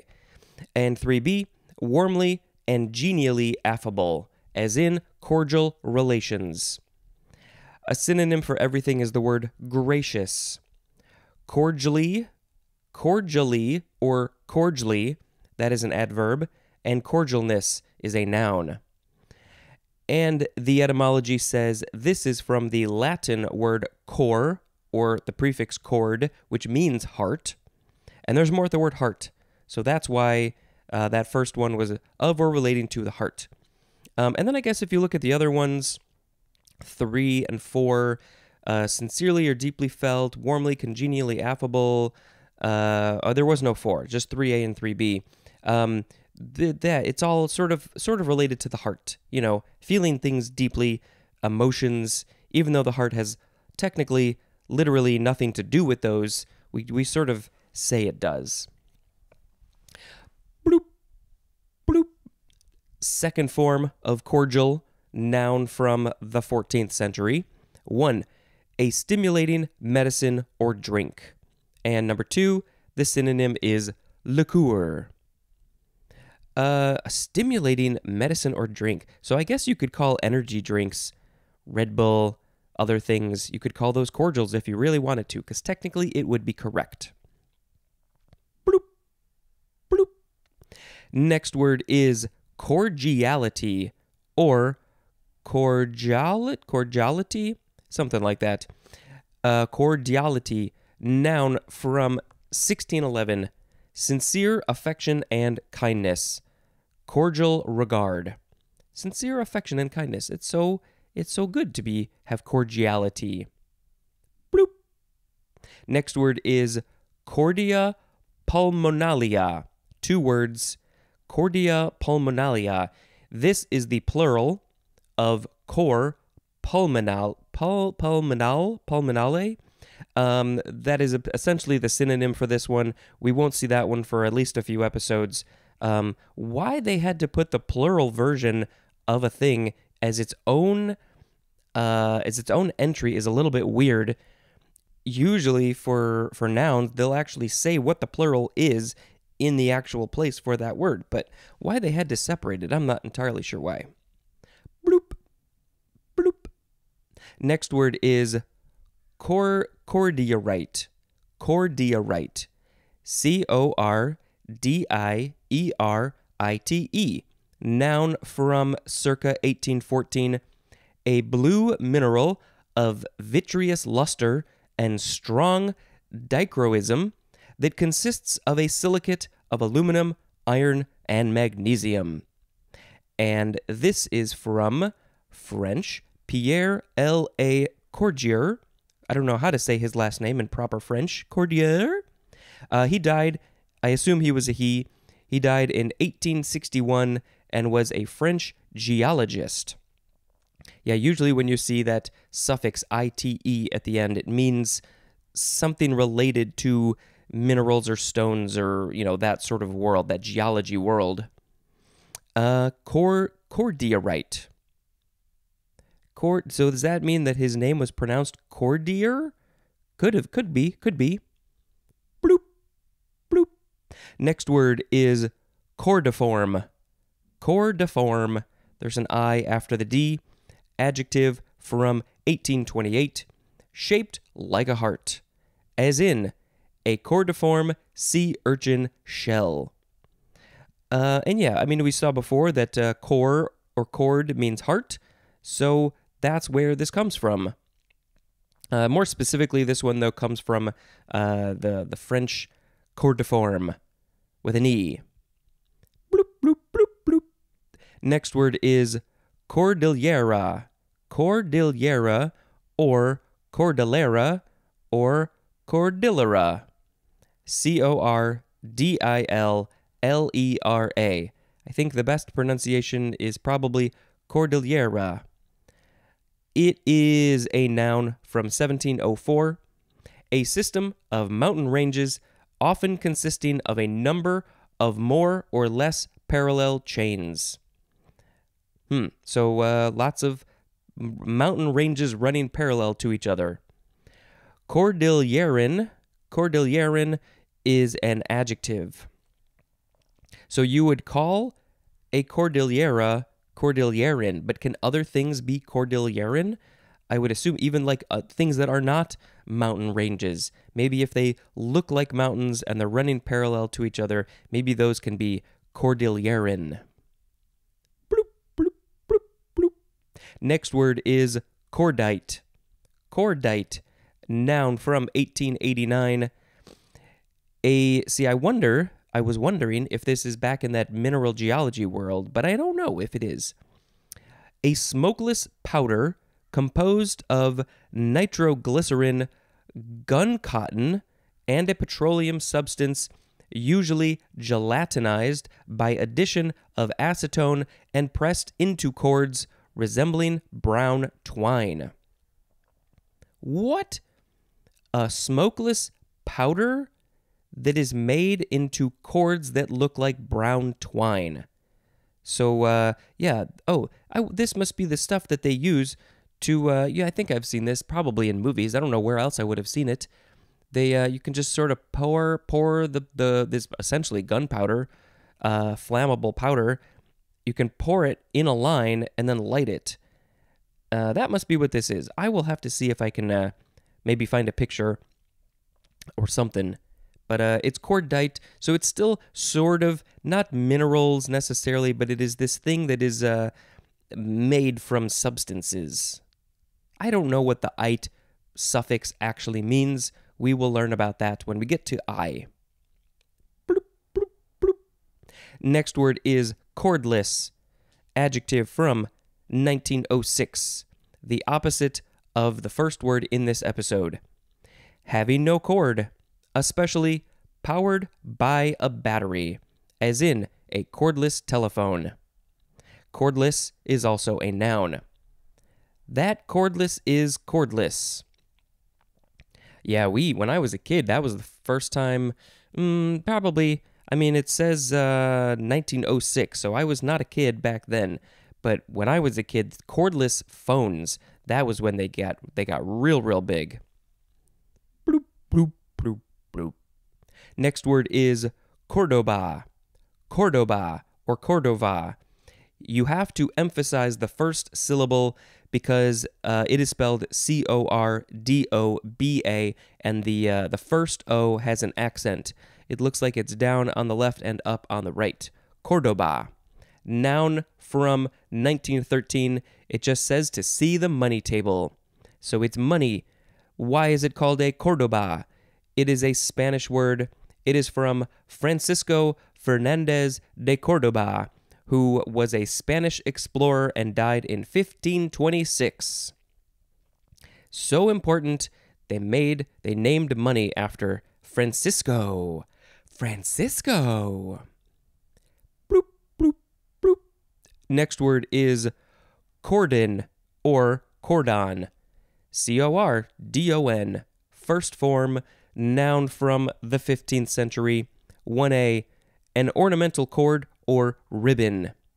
1b, the synonym is string course. String course. 2a, a line of troops or of military posts enclosing an area to prevent passage. 2b, a line of persons or objects around a person or place a line of persons or objects around a person or place, as in a cordon of police of police. I don't know why I said it that way. Um, also, yeah. So if you got if your place is surrounded by police, then that's not good. Um, I also think if there's a place that's really popular, maybe it's a food place, people want to stand in line for something. If there's a whole big long line around the block, it would be called a cordon or cordon. Three, and esp, esp, what is this word? It goes over to the second line. Second line, espalier. It must not be nearly as complicated as I think it is. An espalier, especially of a fruit tree, trained as a single horizontal shoot or two diverging horizontal shoots in a single line. Something about fruit trees. Fruit trees. Uh, yeah, that is good for that. Next is the second form of cordon or cordon. It is a transitive verb from 1561 to form a protective or restrictive cordon around, and this is usually used with the word off, as in police cordoned off the area around the crime scene. We've we've all heard this, I think, cordon off that area. I don't know if I ever fully realized what they were saying, uh, but it's a uh, you know make a line of police. It look that looks like a cord. Police, go make a cord. Um, yeah, because this is uh, f- the first form of cordon says it is French. It is a diminutive of cord with an E, which means cord. So it's just making a cord, a line. Next word. Bloop, bloop, bloop. It is cordon sanitaire. Sanitaire. Two words. Cordon sanitaire. I think that is how to say it. So uh, the first word is the same cordon, cordon, cordon. And the second word is S A N I T A I R E. Sanitaire. This is a noun from 1920, a protective barrier, as of buffer states, against a potentially aggressive nation or a dangerous influence, as an ideology. So it's a pr- protective barrier against a potentially aggressive nation or a dangerous influence. Uh, this is French, and it literally means sanitary cordon. Uh, and that's that's uh, cor- cordon. That's how they want to say it, I think. And uh, it then it says in parentheses quarantine line. So sanitary cordon is basically a quarantine line, and so that's what that is. And that's basically what the police are making when you cordon off an area. It's a protective barrier against a potentially aggressive nation or a dangerous influence. Depends on which side of the uh, that that cordon line is we're talking about. Bloop, bloop, bloop. Next word is Cordovan. Cordovan. I think that's how it is pronounced. Cordovan. This is our last word. We've got two forms C O R D O V A N, adjective from 1591. Number one is capitalized, of or relating to Cordoba, and especially Cordoba, Spain. So maybe they use the money Cordoba in Cordoba, Spain. That would be very meta. How do you know if you're talking about the town or the money? Uh, number two, made of Cordovan leather. This is Old Spanish Cordovano from Cordova, uh, Cordova, Spain, which is now uh, Cordoba. So they changed the V to a B. Um, that so it's uh, so then uh, Cordovan is something related to the town, but maybe if we look at the uh, the etymology for the Cordoba money, it's named for somebody uh, named Cordoba. So maybe he was from the town, but I don't know. 1591 is when this was uh, made. He died in 1526, so I don't know. It's all related somehow, I'm sure of it. I am positive. Bloop, bloop, bloop, bloop. Next and last word is Cordovan or Cordovan again. Uh, the second form, noun from circa 1625. One, a soft, fine grained colored leather. And two, dense, non porous leather tanned from the inner layer of horsehide. I shall keep my opinions to myself, maybe. Okay, so the words today were corded, cordgrass, cordial, cordiality, cordia pulmonalia, cordierite, cordiform, cordillera, or cor- cordillera, cordite, cordless, cordoba, cordon, cordon sanitaire, and cordovan. Well, there were some good ones in here. Some good. I had some good education today. Uh, I think I shall pick though one of the only words that I actually knew, which is uh, cordiality.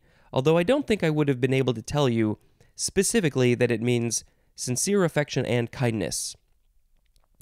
Cordiality, C O R D I A L I T Y.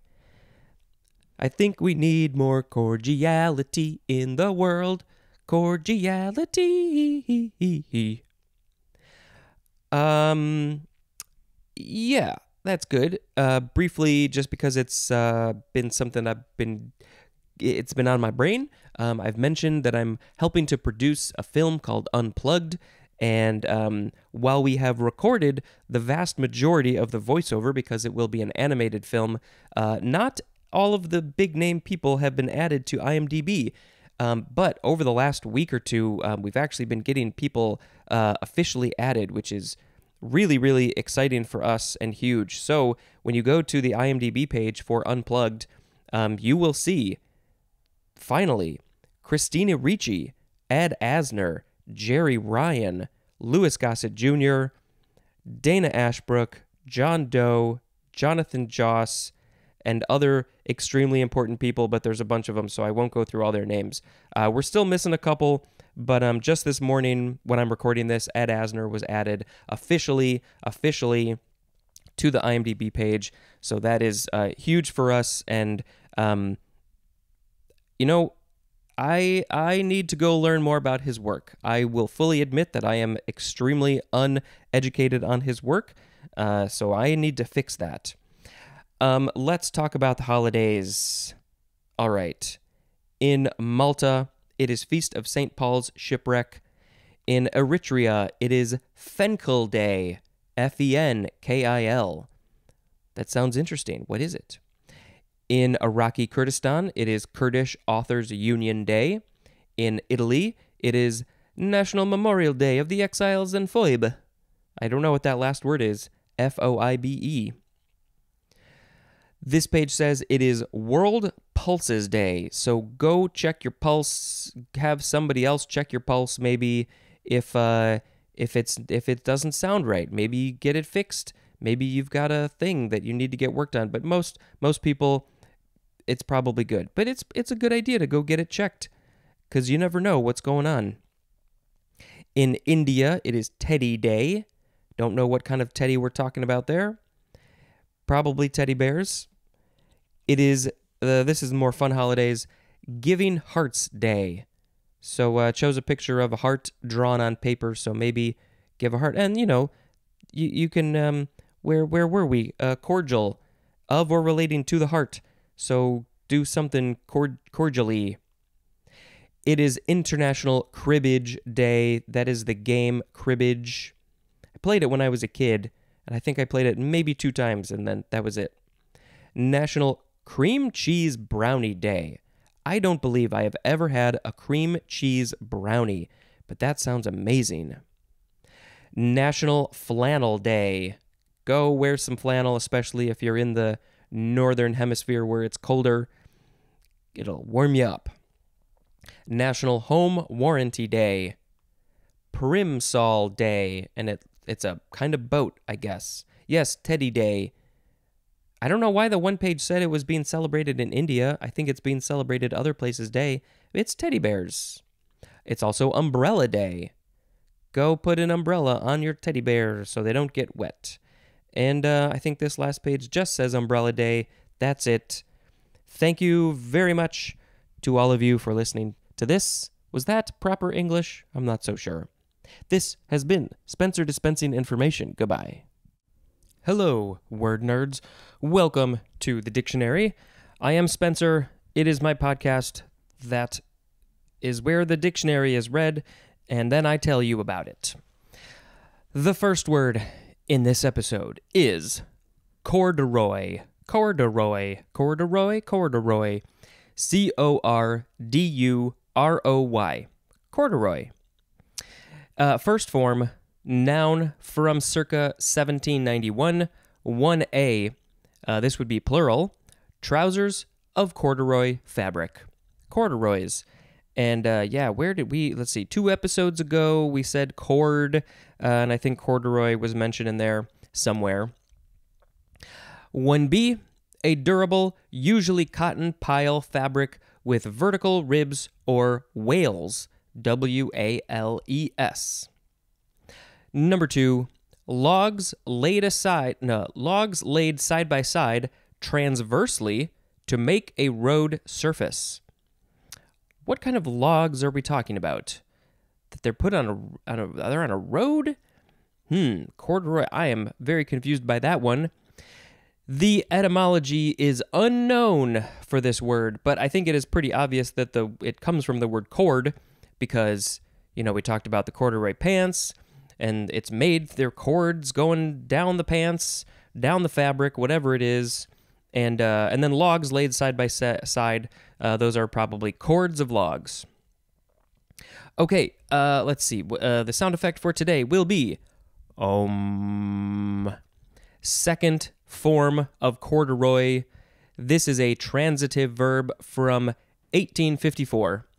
To build of what? To build of logs laid side by side transversely. Uh, so corduroying the corduroy. But then also to build a corduroy road across. What is a corduroy road? And that is hard to say. It should be a quarter road. Uh, the example the thing of the thing that you're building uh, from that first part is a road. To build a road. Oh, I I don't know why I read this wrong.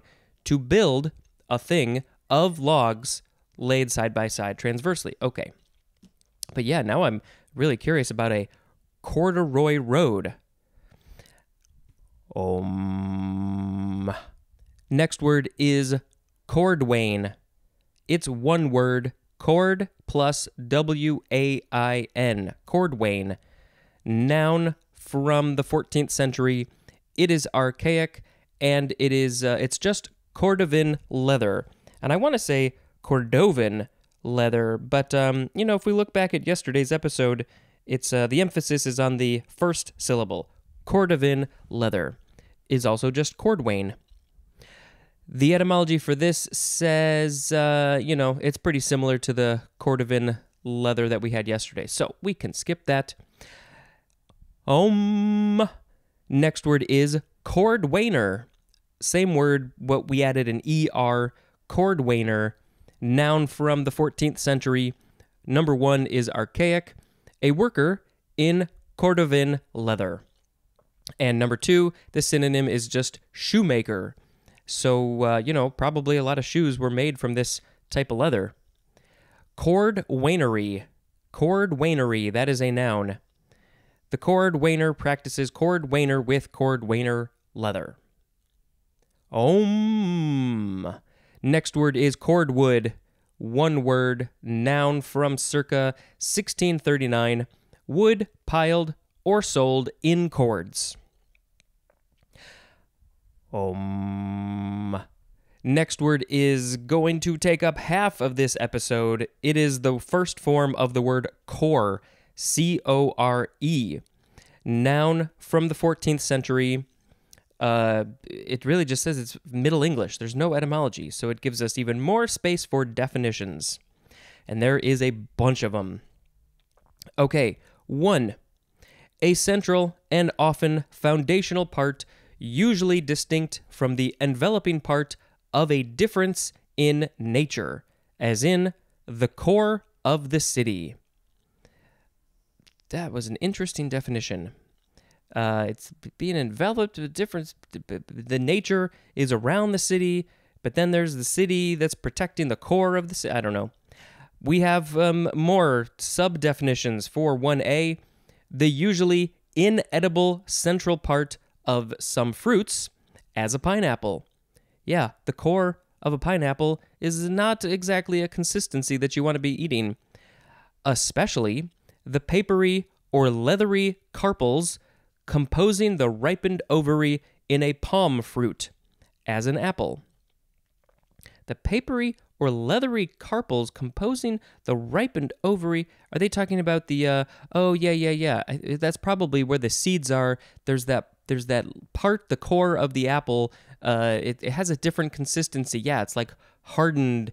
It's kind of a weird thing. Uh, but there are some people, some people I know who eat that whole thing, and I don't care for that. I I, I leave the core for the for the compost.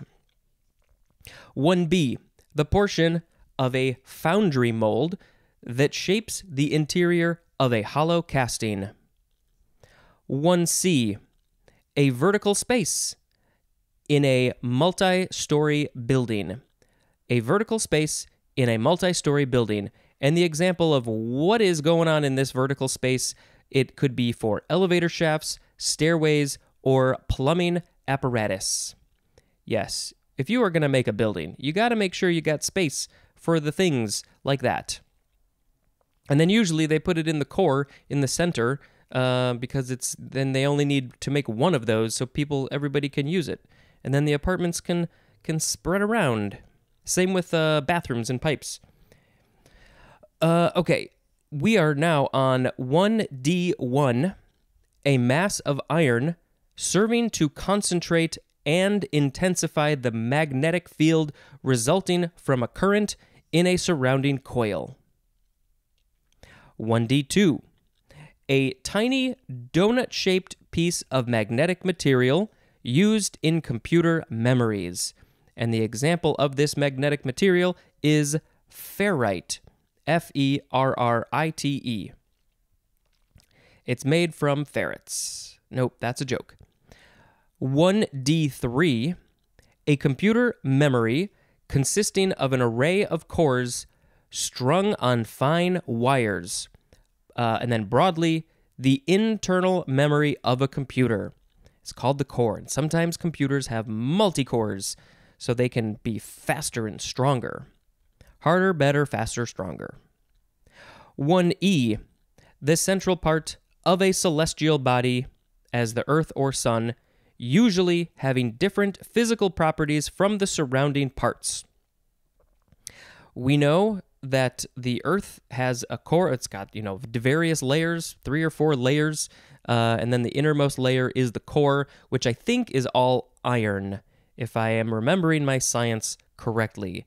Um, and then, yeah, the, the sun also has a core, probably also of iron, because I think once the all the once the fusion is done, it, it, gets to a certain point. I think iron is the biggest molecule that can be made in that process, something like that. Um, it's a, I think it's molten core too. It's it's liquidy. Where were we? One F. We're still in the ones. Um, yeah, one F. A nodule of stone from which flakes have been struck for making implements. Um, and the example of this stone is flint or obsidian, a nodule of stone from which flakes have been struck for making implements. So they they break off pieces of this type of stone, and then but the stone that's left over is the core. 1G, the conducting wire with its insulation in an electrical cable. And these are, of course, again, are all the same type of thing. They're all under number one, which is a central and often foundational part, usually distinct from the enveloping part of a difference in nature. It's just the thing in the center. It's surrounded by other stuff. 1H, an arrangement of a course of studies that combines under basic topics material from subjects conventionally separated and aims to provide a common background for all students, as in core curriculum. These are the base the base things that people need to be learning, and uh, it was a very long and specific definition. What are those? What's the core curriculum? Math? That's a good starter point. One I. Yes, we're on I. One I.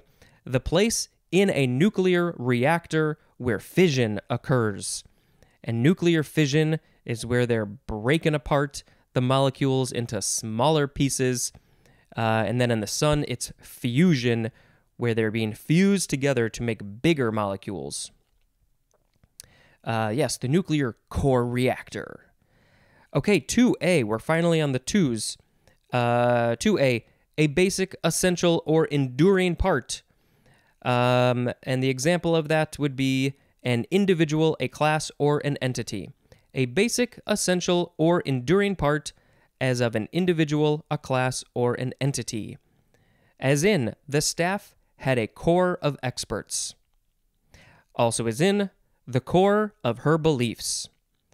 The thing at the very, the center, the basis, the, I can't think of any other words for that. To be, the essential meaning. And the synonym is gist. What's the gist of that thing? The what's the the main the main idea? As in the core of the argument. To see the inmost or most intimate part. The inmost or most intimate part, as in honest to the core, all the way to their center. How many licks does it take to get to the core of a Tootsie Roll Pop. Three, a part removed from the interior of a mass, especially to determine composition. And the example of the thing, the part, is uh, a thin cylinder of material. Uh, yeah, uh, I'm, I don't know. Let's see. Uh, geologists probably do this. They they dig a, a, a how do they do? They have, they have a very special thing that can dig very deep and then pull out a very perfect core of something, a long, long, thin cylinder, and you can see all the different layers of soil and stones and other things. So, those were all of the definitions for the first form of the word core.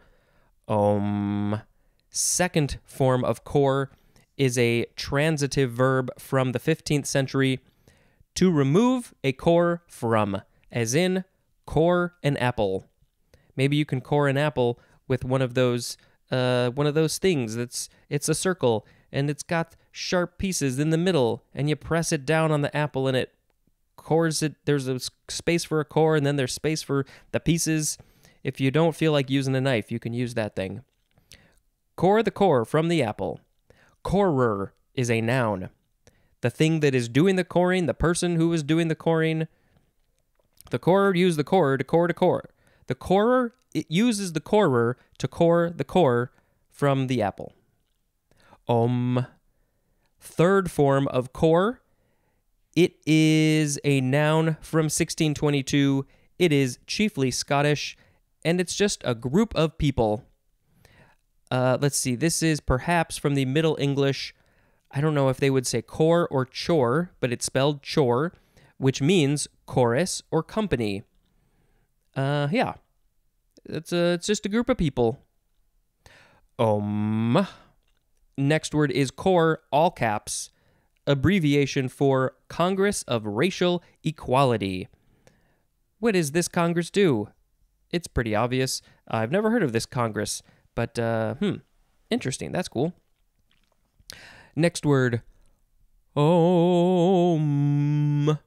It is core city. Two words, noun from 1965, and the synonym is inner city. The center, the you know, I think inner city gets used for lots of things. Uh, next word, om. It is cored, C O R E D, adjective from 1945, having a core of a specified kind, and this is usually used in combination, as in a balsa cored deck. The core of the deck is made from balsa, and balsa cored uh, is two words with a hyphen. Okay, we're on our last word. Um, it is co religionist. C O R E L I G I O N I S T. Co religionist. Noun from 1826. A person of the same religion. Two people, they've got the same religion, and they would be co religionists. All right, so the words in this episode were corduroy, cordwain, cordwainer, cordwood, core, core, core city, cored, and co religionist. Well, I think I will just have to pick core as the word of the episode, just because it's a pretty versatile word. And uh, it's, eh, you know what? Honestly, it's not all that versatile. It's kind of, it kind of just means the same thing in um, slightly different ways. It's a it's essentially the same word, just slightly differently changed, depending on the context. Uh, what is what is my core? What is my core? I don't know what my core is. Uh, I am made up. No, nah, I don't know. I don't know. The core, the core of my personality. Why? We don't need to talk about me. Let's talk about the core of the sun is made of iron. I think. Iron is also the core of the earth, I think. All right, let's read the holidays. In the European Union, it is European 112 Day, or 112 Day, or 112, or 112. I don't know how they say it, but it's 112. Um, because today is February 11th and they write that the day first, so it's 1 1 for the day and then 2. But there is no slash. Uh, Liberia has Armed Forces Day. Uh, Panay Island in the Philippines has Evelio Javier Day. Uh, the United States has Inventors Day. Go invent something, it's not that hard. Japan has National Foundation Day. Cameroon has Youth Day. This is one of my favorites. UN, it just says UN Women is celebrating this. Uh, I'm sure it's just the UN in general. It's International Day of Women and Girls in Science.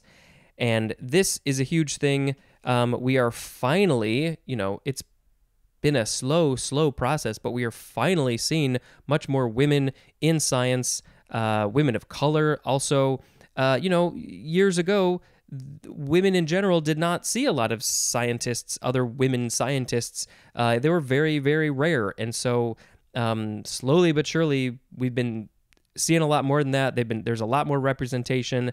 Um, I can tell you some podcasts I listen to that are very good about being very representational of women in science. Um, Ologies, I've talked about that in the past. Uh, Shortwaves, that is a podcast from NPR. Uh, they are very heavily in the women's science world. I'm sure there's lots and lots of other other ones, but uh, those are the ones that I'm aware of. Uh, let's see. Italy has Lateran Treaty. Lateran Treaty, something like that. Um, let's see. Did I miss any on this page? No, I think I didn't. Uh, so fun holidays. Be Electrific Day. So it's like electric and terrific. Be electrific today. Get out your guitar day. Uh, we actually have a guitar that is in a case under the bed, never gets used. Uh, maybe we will get out the guitar. It's Grandmother Achievement Day. So, did you achieve becoming a grandmother? Is that a goal of yours? International Winter Bike to Work Day, National Don't Cry Over Spilled Milk Day. If you if you spill milk, just don't cry over it today. Just clean it up. Uh, it is National Inventors Day, like I said, and I only say that again because it uses the exact same photo as Be Electrific Day, which is a, a it's just a light bulb. Uh, let's see, National Make a Friend Day. I'm sure it's not that hard. National No One Eats Alone Day. National Peppermint Patty Day. National Shut In Visitation Day. Promise Day. Pro Sports Wives Day. There's a holiday for everything. S- sort of opposite. Stat- satisfied Staying Single Day. That's hard to say. Satisfied Staying Single Day. The Inbox Day. White Shirt Day. Oh boy, and let's check this one last page. Uh, Reading, reading, National Foundation Day. Foundation? Hmm. That's it. Uh, that's it. That's it. Om. Let's end the episode. Thank you very much for listening, and until next time, this is Spencer dispensing information. Goodbye. Hello, word nerds. Welcome to this podcast called The Dictionary. Uh, if you could go go contact me if you want. This is a terrible start. Um, there's a Patreon. If you want to join that, you can get episodes early. Uh, you might get a few exclusive episodes.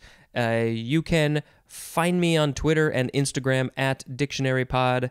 I post some pictures sometimes. Uh, there's an email address, dictionarypod at gmail.com. There's a Google Voice number where you can call and leave a message. You can send me a short little song, a theme song that I would maybe put at the beginning of the episode. If you want to do your own little sound effect that I can put in an episode, you can send me an audio clip of that.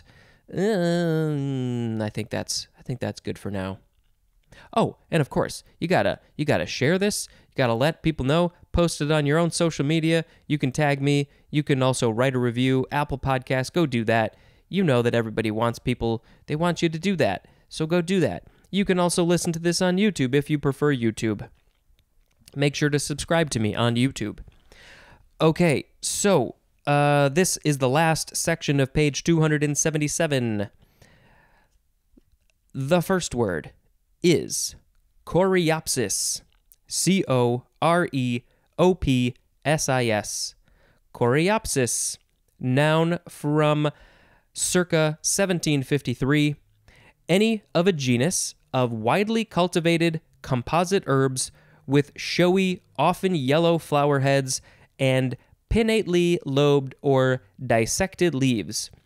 I think it's pinnately and not pinnately, pinnately, one of those. But they are pinnately, pinnately lobed or dissected leaves. And the genus is Coreopsis. And this is from Greek koris, which means bedbug. Bedbug. I wonder why they chose bedbug. Um, also, it's akin to the Greek keirein, which means to cut. And that's probably because the leaves look like maybe they've been cut. There's more at the word shear. Okay, uh, the sound effect for today, I'm going to change it up a little bit. It's not so much of a sound effect, but a couple of words from a character that you might be familiar with. Hey Bert. That was uh that wasn't that wasn't great. That's fine. Um the next word is co-repressor. So it's the word repressor with a co noun from 1963, a small molecule that activates a particular genetic repressor by combining with it. Hey Bert. Next is co requisite. Noun from circa 1948, a formal course of study required to be taken simultaneously with another. So, a, required course is a requisite. Sometimes there's prerequisites, things that you have to take before something else, but a co requisite. I don't know if I've ever had to take a co requisite. Uh, you got to take it at the same time. So, two classes would be co requisite. You got to take them at the same time for whatever reason. Depends on the situation. Hey, Bert. Next is co respondent. Noun from 1857. A person named as guilty of adultery with the defendant in a divorce suit. Uh, a person named as guilty of adultery with the defendant in a so people are getting divorced. One of them is being is the defendant. And then they they were guilty. I'm not sure. It's something something about that. Co-respondent. Uh, okay next word. Hey bert. Now we changed it up a little bit i see. Uh, so this word is corf. C-o-r-f yes corf. Noun from 1653 it is british and it means a basket tub or truck used in a mine, like a mine where they go they go take coal out or whatever it is. A basket, a tub, or a truck used at that mine is called a corf. Why is it called a corf? I'm not sure. Uh, it says it's a Middle English word that means basket, from Middle Dutch, also korf, or Middle Lower German korf with a K, from Latin corbis, C O R B I S, and that means basket. So somehow it went from corbis to korf. It's just a basket, or a tub, or a truck. Next word, it's a, this is a fun one. Hey, Hebert. It's corgi, noun from 1926, uh, and it's just the synonym Welsh corgi. Um, what what is this word? Where does this word come from? Uh, so it comes. Ah, this is so interesting. It uh, it comes from the Welsh word, or maybe it is a Welsh word, and it comes from two parts. The first part is it must be. Th- these are both Welsh words, I think. Cor, C O R, and that means dwarf. And then the second part is not gi, G I. It's actually C I so somehow it changed, but maybe it's pronounced gi. I don't know Welsh. It's a very complicated language. Uh, but that word, ci, means dog. So it means dwarf dog, Corgi literally means dwarf dog because that is what they are, and they come from Wales. That's that's where Welsh is spoken. I will never look at a corgi the same way again. Obviously, we have to post a picture of a corgi, some of the cutest little dogs out there. Hey, Bert. Next word is coriaceous. C O R I A C E O U S. Coriaceous. Adjective from 1674, and it just means resembling leather, as in coriaceous foliage. Um, doesn't really give a whole lot of information of why this word is this word and why it means resembling leather. Um, it says it's from Lower Latin coriaceus, however they would pronounce it. Uh, and there's more at the word Q. How do you say this word? C U I R A S S. Curious? Quiras? I'm not sure. Mm, we'll learn more about that later. Coriaceous is resembling leather. Next word, Hey Bert. It is coriander. Coriander, uh, you can emphasize the first syllable, coriander, or you can emphasize the third syllable, coriander. Coriander? Who says that? This is a noun from the 14th century. One, an old world annual herb of the carrot family with aromatic fruits. And the scientific name is Coriandrum sativum. Coriandrum sativum. Number two, the ripened dry fruit of coriander used as a flavoring, and this is called also coriander seed. This is from eh, the etymology, not much to it. Next word, Hey Bert, Corinthian, capital C, first form, noun from 1520. 1.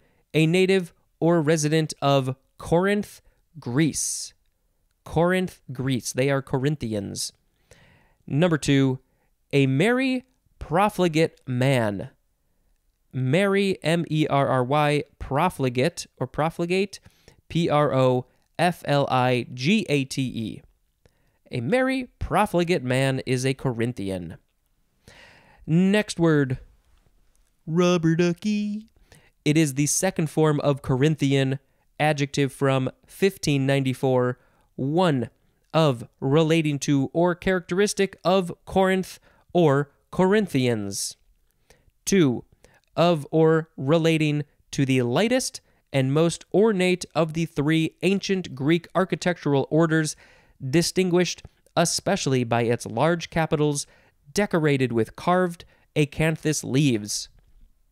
And then it says to see the order illustration. Yeah, O R D E R. There's a whole illustration for orders of things. Next word, Hey Bert. Corinthians. So we added an S. Still has the capital C. It is a noun from 1520 either of two letters written by St. Paul to the Christians of Corinth and included as books in the New Testament. And then it says to see the Bible table, which we already read. Hey, Bert. Next word is Coriolis effect. Two words. The first word is capital C O R I O L I S, and then the second word effect it's uh, it starts with an E. Noun from circa 1946. The apparent deflection of a moving object that is the result of the Coriolis force. The apparent deflection of a moving object. Uh, we will learn about Coriolis force next. I'm just trying to gather this in my brain so something bounces off of something else, and that's the Coriolis effect. I guess. Next word, Hey Bert. Coriolis force. Noun from 1923. An apparent force that, as a result of the Earth's rotation, deflects moving objects to the right in the northern hemisphere and to the left in the southern hemisphere. And uh, let's see. So the examples of these things that would be deflecting would be projectiles or air currents. This is named after Gaspard G. Coriolis, who was a French civil engineer and died in 1843. And I can give you more information on this because I knew I've heard of it before, but I couldn't remember. Uh, okay, so I learned that I learned this in a in a science class in college. It's pretty fascinating because you wouldn't necessarily think of this. Okay, if you were to stand at the North Pole and shoot, and I, th- I hope I get this right, and you were to shoot a projectile straight south towards the equator from any any point up there, uh, or just anywhere from the north. If you shoot something going down um, but again, this also has to do with uh, air currents, wind, uh, water, anything that's moving.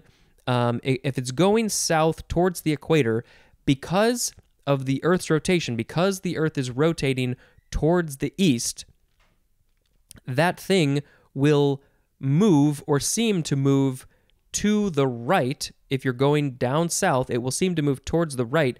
If you're looking at the Earth from space, uh, it would be moving towards the west because as the Earth moves to the right, the thing keeps on going in what it thinks is a straight line, but it moves to the west. It's kind of hard to describe verbally. You'd have to see it. Maybe I'll post a picture so you can see it better.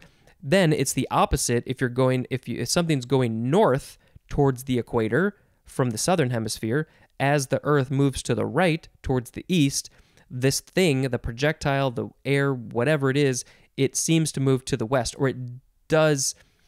You know, if the Earth weren't rotating, it would move in a straight line. But as the Earth moves away from this thing, it moves to the west, to the left in that case. Is this making sense? It's amazing because if you start, if you know it, and then you look at air and wind and water currents and stuff, it all is following this Coriolis force, this effect that happens because of the Coriolis force. Uh, it's it's pretty fascinating, and it is literally affecting everything on the Earth at all times, constantly. We are living in a world, and all worlds that are spinning are dealing. This thing is happening constantly. Uh, yeah. So so that that's that. That's that. Okay. Next word. Hey Bert. It is corium. C O R I U M, noun from 1836, and the synonym is dermis, and I think that's just skin. Uh, and then this is uh, corium is a Latin word which means leather, and there's more at the word. Uh, this is the second time we've seen it. C U I R A S S, cuiras, cuiras. I don't know how to say it. But yes, leather is made from skin, and dermis is skin, so that all makes sense. Next word, Hey Bert. It is cork. First form, C O R K, noun from the 14th century. 1a. The elastic, tough outer layer, no, outer tissue of the cork oak that is used especially for stoppers and insulation uh, yeah, it's a pretty fascinating material that is organic. It comes from a tree, and then we use it in things. It's this organic material that is kind of, yeah, it's tough, but it's elastic. It's very cool. I've never, uh, I've never experienced it in in nature, in the world, on a tree. Uh, I feel like we're running out though, aren't we? I know a lot of winemakers are using uh, other materials instead of cork, so that's good. And they're just as good. It's not like it's affecting the wine, it's fine. Uh, 1B, the synonym is phellem. P H E L L E M. Phellem. 2. A usually cork stopper for a bottle or jug. 3 a fishing float. Yeah, cork would definitely float in the water. Okay, where is this from? There's a lot of etymology here.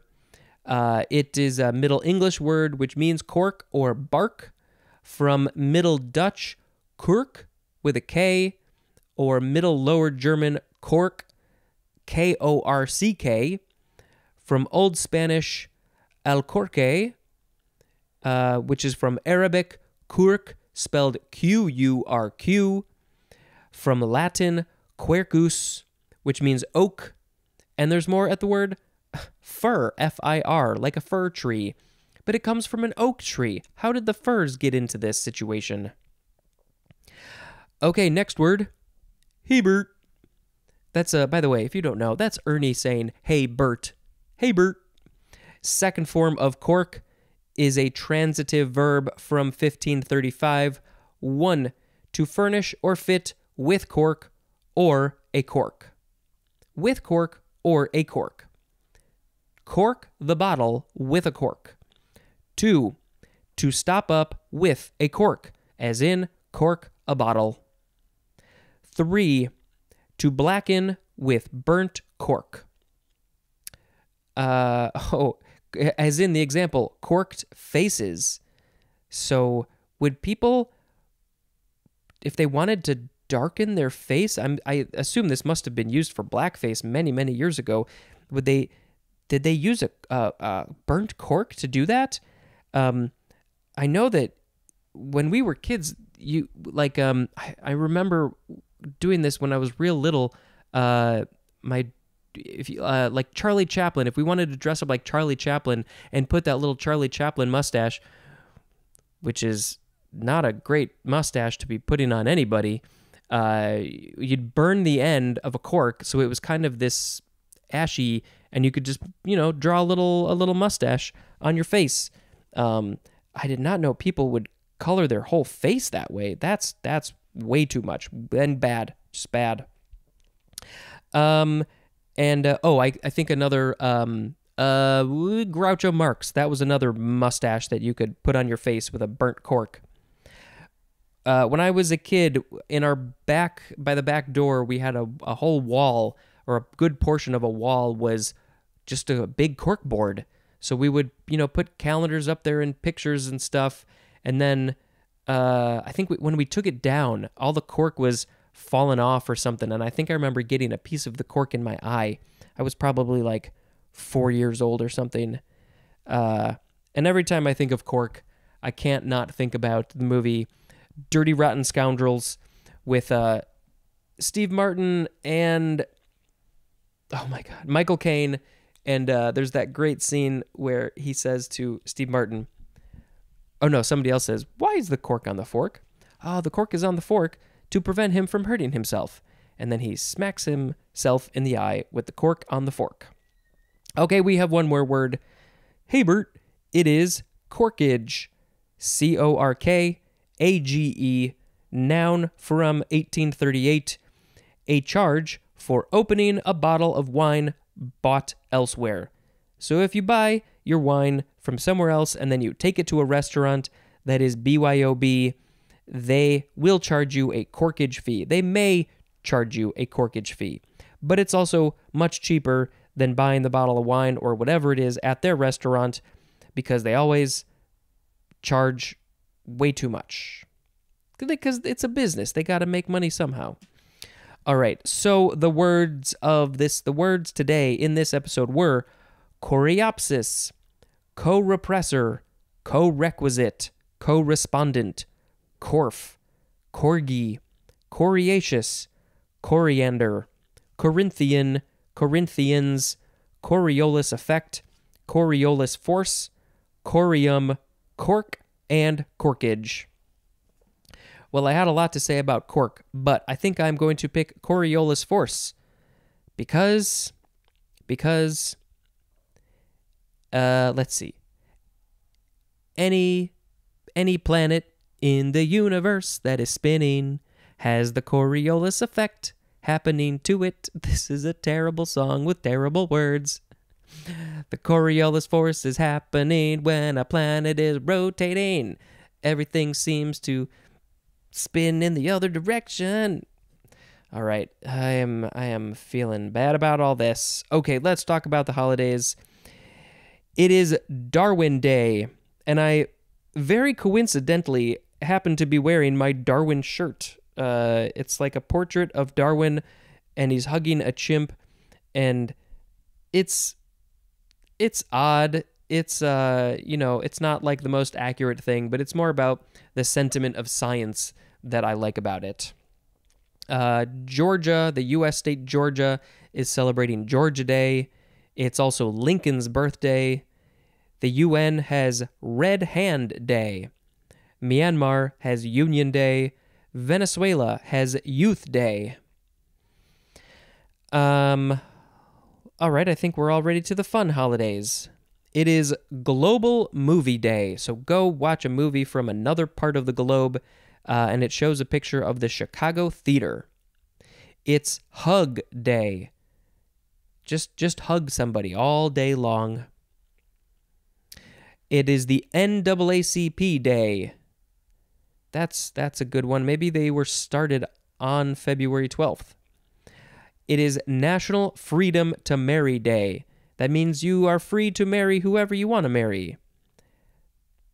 That's a relatively new concept in this country. Glad we finally got there, mostly. It's National Lost Penny Day, National Plum Pudding Day, Oglethorpe Day. Oh, that's also known, known as Georgia Day. Paul Bunyan Day, Safety Pup Day. Anything else on this page? Nope, that's it.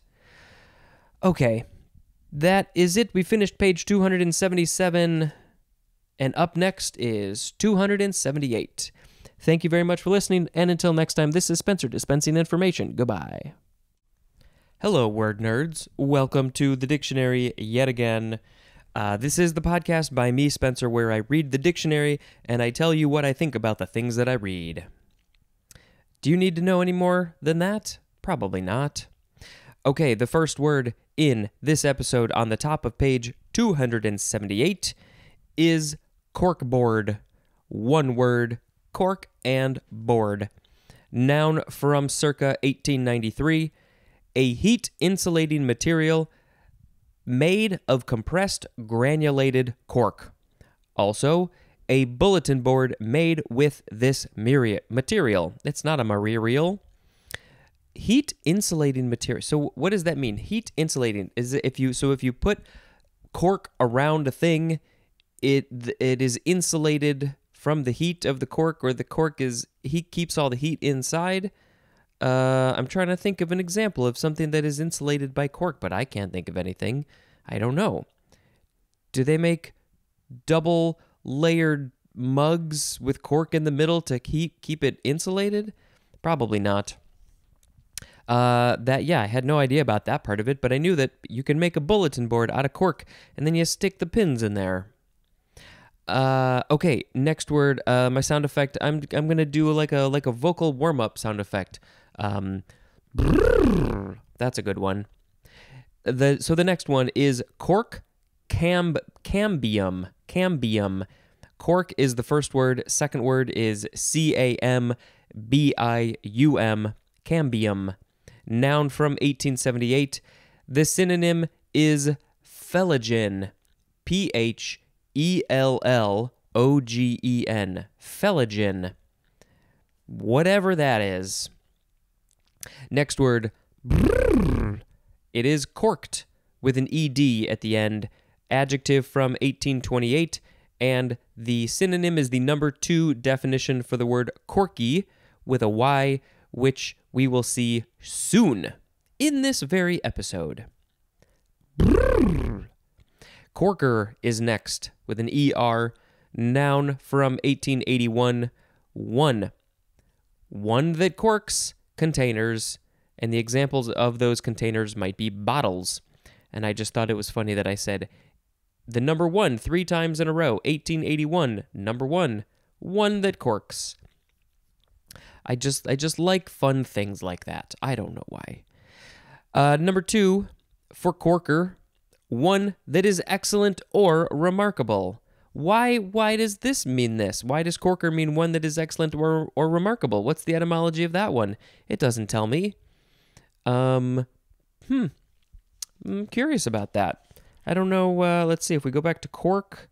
Uh, am seeing things blackened with burnt coal stop up with a cork. Yeah, I'm not really seeing anything that's uh that's making that make any sense. Oh well, we have to just move on with life. That was a bad one. Next word is corking with an ing, adjective or adverb from 1895, and it means extremely fine. And this is often used as an intensive, especially before the word good, as in, had a corking good time. this is this is a good one. I, I don't know why I like it so much. It's just a funny word. And how often does this actually get used? Do people say this? Did, they must have said this back in the 1895 times, but I don't think I don't know. Maybe there's somebody who still says this. Uh, and then this is uh, similar to that number two for Corker. I don't understand why, where this came from. Is probably just some random person started using it in those words, in those ways, in that context, and then it stuck. How do you do that? Next word. It is cork oak, two words. And actually, uh, if we go back to the word cork, um, it is it is a cork oak. It's the elastic tough t- tough outer tissue of the cork oak tree, uh, and it is from uh, the Latin quercus, which means oak. So it's the this is gonna be the tree that the cork comes from, right? Noun from 1873. I don't know why I had to go through all of that just now. So this is an oak of southern Europe and northern Africa that is the source of the cork of commerce. The cork of commerce. The scientific name is Quercus suber. And then, yeah, Quercus, we learned that that's the Latin word for oak. Uh, but suber, S U B E R, not sure where that one comes from. Next word. It is corkscrew. One word. My lips are going to be so warmed up by the end of this episode. So, this is the first form of corkscrew, noun from 1698. A device for drawing corks from bottles that has a pointed spiral piece of metal turned by a handle. It is a screw that goes into a cork, so it is a corkscrew. Uh, this this is a whole world. Corkscrews. I have so many thoughts of things that I could say about corkscrews. Have you ever seen the ones where you know the part the part that sits on the lip of the bottle? Uh, it has a little notch cut out. There are ones that have like a dual. It's like hinged, so you you can press down the first part on the bottle and get like the first pull of the cork, and it might go halfway, and then there's a second part to that thing. I don't know what that metal part is called. There's a second part, so you can get another good a good grip on it. The the lever physics action motion happening. Um, man, for some reason, I've bought some corkscrews in the past that are like sort of decorative, uh, and and they don't they don't work so good. They either break right away or I don't know. It's very odd. So just get something non-decorative, ugly and gross, and it's gonna work great for decades probably. We have one of those electric ones, but then you got to power it up, and it's it's fine. I've heard that the uh, what is it the the rabbit is that the one that is really good because it sort of looks like rabbit ears. That's supposed to be a really really fancy expensive one that works great. I don't think I'll ever get one of those. You can you can open up a corkscrew. You can get the cork out of the bottle with a with a shoe if you like do something with it, you like take off the the plastic on the top and then you put it in a shoe with like a thick rubber sole and you can hit the shoe and then the cork starts to pop up. There's videos on YouTube. Maybe I'll put that in there. It's like it's a cork it's a corkscrew with no screw. It's a corkless no, it's a screwless corkscrew. Maybe that's an invention. How do you do that? I don't know.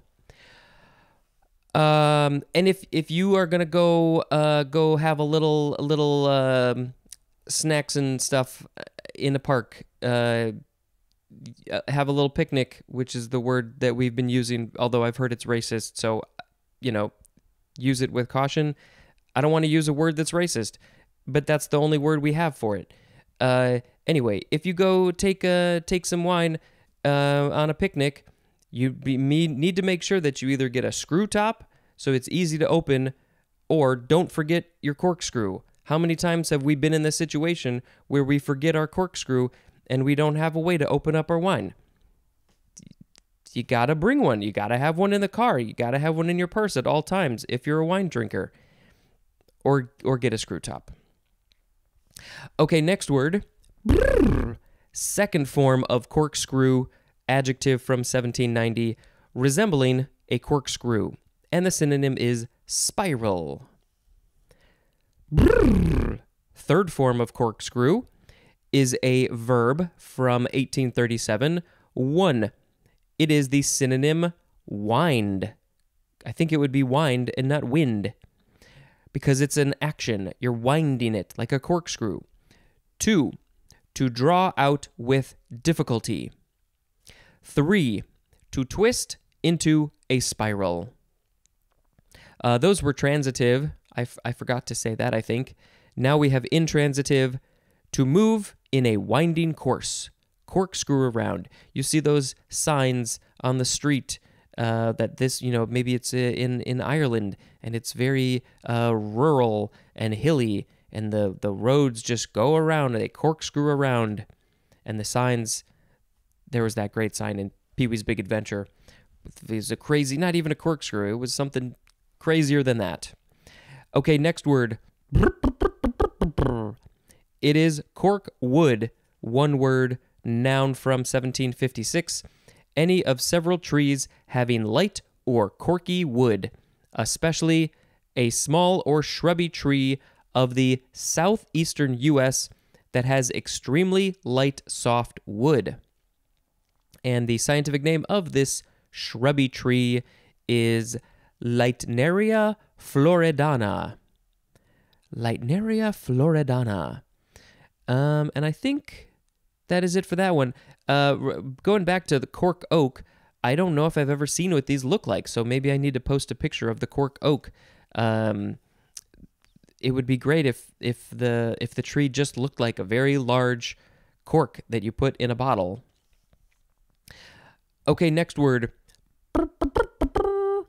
It is corky with a Y, adjective from 1756. 1. Resembling cork. 2. Having an unpleasant odor and taste. Uh, and uh, that odor or taste could be from a tainted cork. So, yeah, if you have wine, that's the easiest example, although I'm sure there's other things too. If it tastes like cork, if the cork has tainted the liquid, the wine, then you can call it corky because it tastes like cork. As in corky wine. There's the example. Corkiness is a noun. Uh, I went to high school with somebody whose nickname was Corky, and I think it would have been great to have him on this show. Um, but I, I didn't I didn't look ahead and I didn't plan. That would be funny. Um, does does he resemble Cork in any way? I don't think so. I don't I don't think anybody would want to resemble Cork. No. We don't want that. Next word. I can't I don't know what else to do with this sound effect. Next word is corm. C O R M. Noun from 1830. It is a rounded, a rounded, thick, modified underground stem base bearing membranous or scaly leaves. Now wait, I think I screwed this up. A rounded, thick, modified underground stem stem base. I think that's supposed to be one thing. A stem base bearing membranous or scaly leaves and buds and acting as a vegetative reproductive structure and it says to compare to the synonyms, I assume they would be synonyms, bulb and tuber. Uh, okay, maybe the etymology is going to help. It is from the Greek kormos with a K, which means tree trunk, uh, from keirein, which means to cut, and there's more at the word shear. So, a rounded, thick, there's so many adjectives. A rounded, thick, modified, underground stem base. So it's the beginning of a thing that grows, That's what a bulb is, a tuber. It's a thing that something grows from. And it bears and it produces membranous or scaly leaves and buds, and it is a vegetative reproductive structure. Hmm. I'm sure there are so many people who are who deal with corm all the time. Corms, these things, I have no clue what they are. Next word, uh, it is cormel or cormel. C O R M E L. Cormel, cormel. Noun from circa 1900. A small or secondary corm produced by a larger corm. So a corm can be grown from a corm. Fascinating. Next word. I don't know. Okay, so this one you can pronounce it either cormorant, cormorant, or cormorant, or cormorant. Cormorant, cormorant, cormorant. Some of you might not have heard any difference.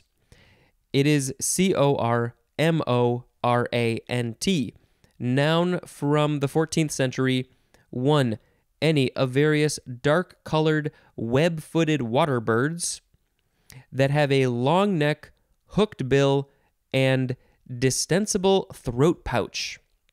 At first, I thought that said throat punch, and that is something completely different.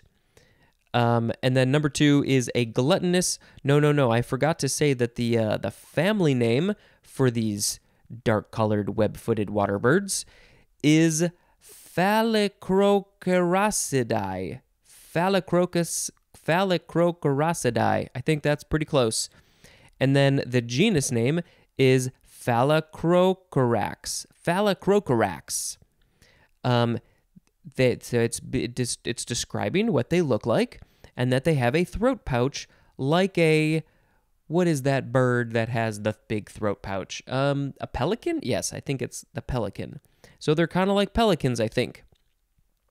Uh, and then number two is a gluttonous, greedy, or rapacious person is a cormorant. And uh, I, I have a feeling that I don't know if these birds necessarily are gluttonous, greedy, or rapacious. They might be, but I think just the fact that they have this distensible throat pouch sort of gives the idea that, you know, they can fill up a lot of stuff in there. And it maybe gives the idea, the feeling that they're greedy or gluttonous, that maybe seems like they're eating a lot. Maybe they do eat a lot. So that's why you can also call a person like a cormorant. Um, etymology, let's see. Okay, it is from uh, Old French cormorang, which is from corp, C O R P. That must be still Fre- uh, Old French. Corp means raven, and of course we uh, we saw some of those raven and core words, co- uh, raven and crow words in the C O R Ds, and uh, so that means raven and meren merenk merenk means of the sea. So it's like Raven of the Sea. Um, yeah. Yep, yep, yep. There's more at the word corbel and marine. So that's what a cormorant is. It's the raven of the sea.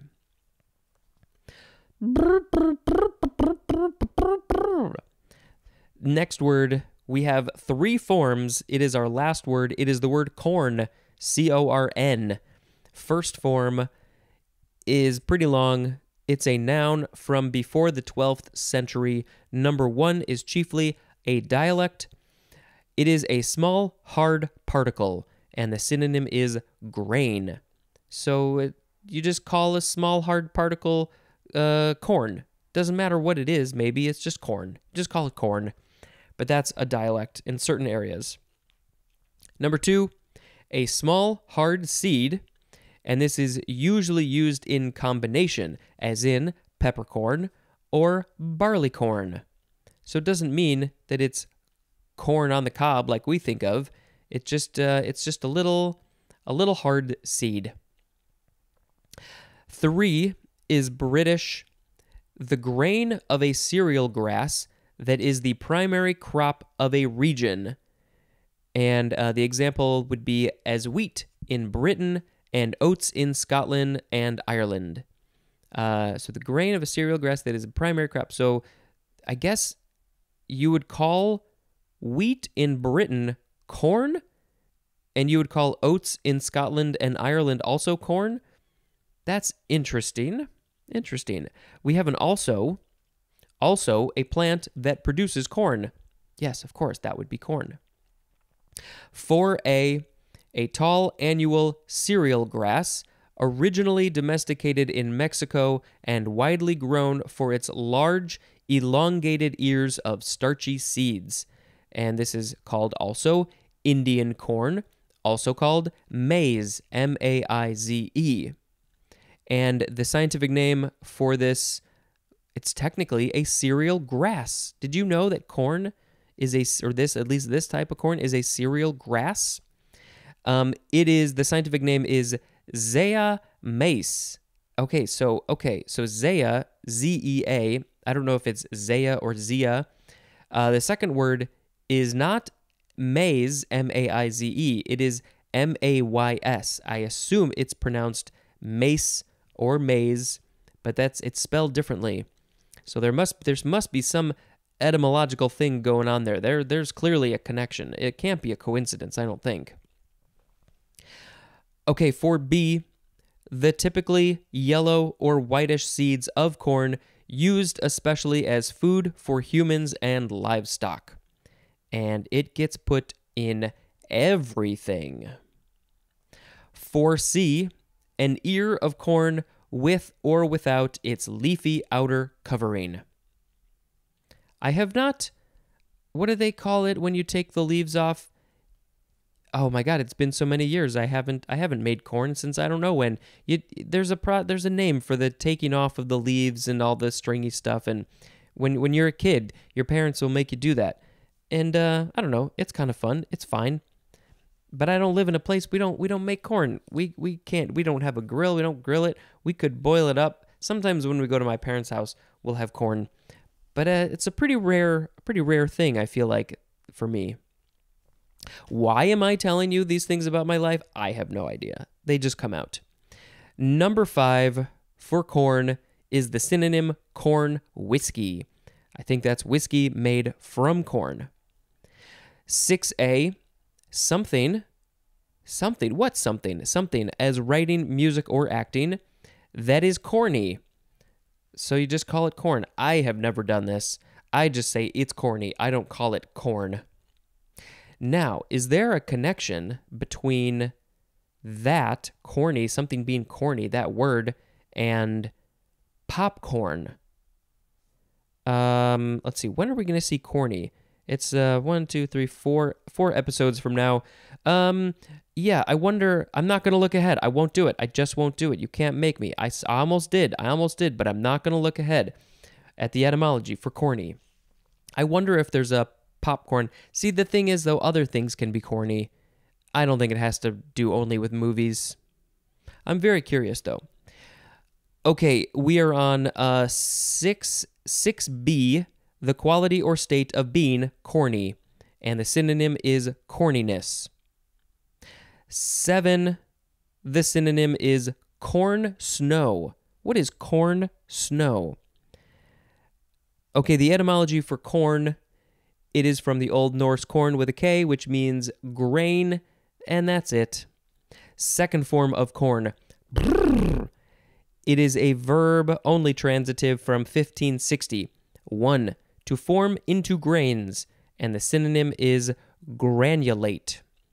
2a, to, pre- to preserve or season with salt in grains. 2b, to cure or preserve in brine containing preservatives and often seasonings, as in corned beef.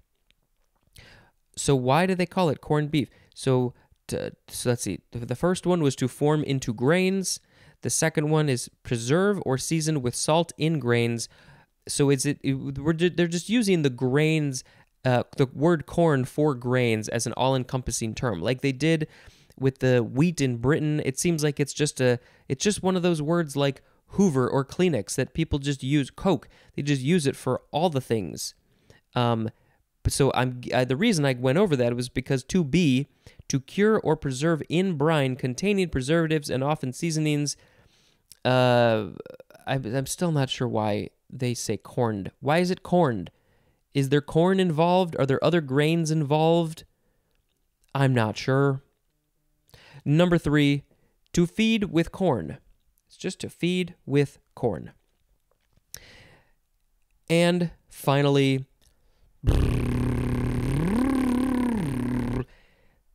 that was the biggest, longest lip warm up I could think of.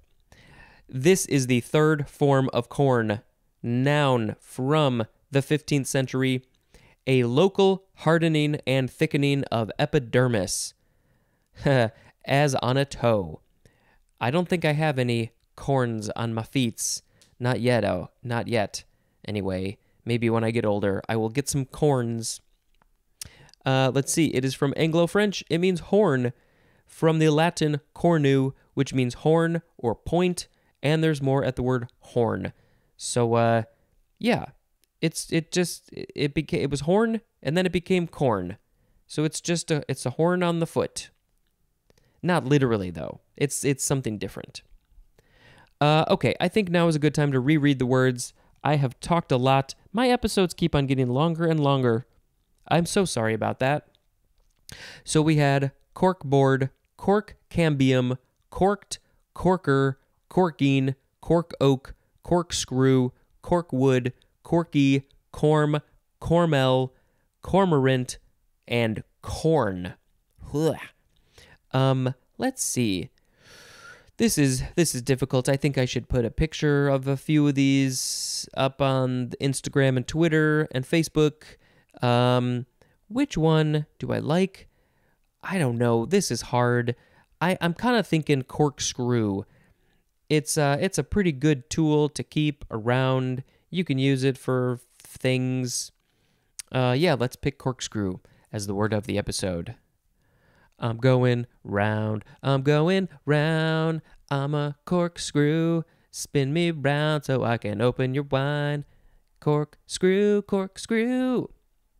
I'm a corkscrew. Uh, okay, holidays. In Myanmar, it is Children's Day. It is World Radio Day. It is National Cheddar Day. International Condom Day. Wear your darn condoms. It is Galentine's Day because tomorrow is Valentine's Day. It is Internet Friends Day. Maybe you can meet your internet friends in the real life. It's the Super Bowl. Happy Super Bowl. In Norway, it is Mother's Day. In Chile, it is National Press Day. What does this page have to de- have to say to me? It is Autism Sunday. Uh, this is also known as International Day of Prayer for Autism. Hmm, that's interesting. Okay. Um, it is also, uh, oh, actually, I didn't finish the name. It is International Prayer Day of Prayer for Autism and Asperger Syndrome. I've got I've got my own feelings about that that name, but I think it's also just good to be aware of autism and be respectful of people who are on that spectrum. And uh, I, I think there's another day though that's probably World Autism Day. So this one's seems more specific about prayer. It is also Dream Your Sweet Day. Huh? Dream Your Sweet Day. Employee Legal Awareness Day. Get a different name day. Should I get a different name? International Natural Day. Natural. It is Kiss Day. You can kiss people, but only if they give you permission. Madly in Love with Me Day. Madly in Love with Me Day. Man Day. Man Day? Do we need a Man Day? Is it a. It's not even on a Monday. It's observed the Sunday before February 14th, so it's going to be on different days. Why isn't Man Day on a Monday? It is National Break Up with Your Carrier Day. That would be your phone carrier.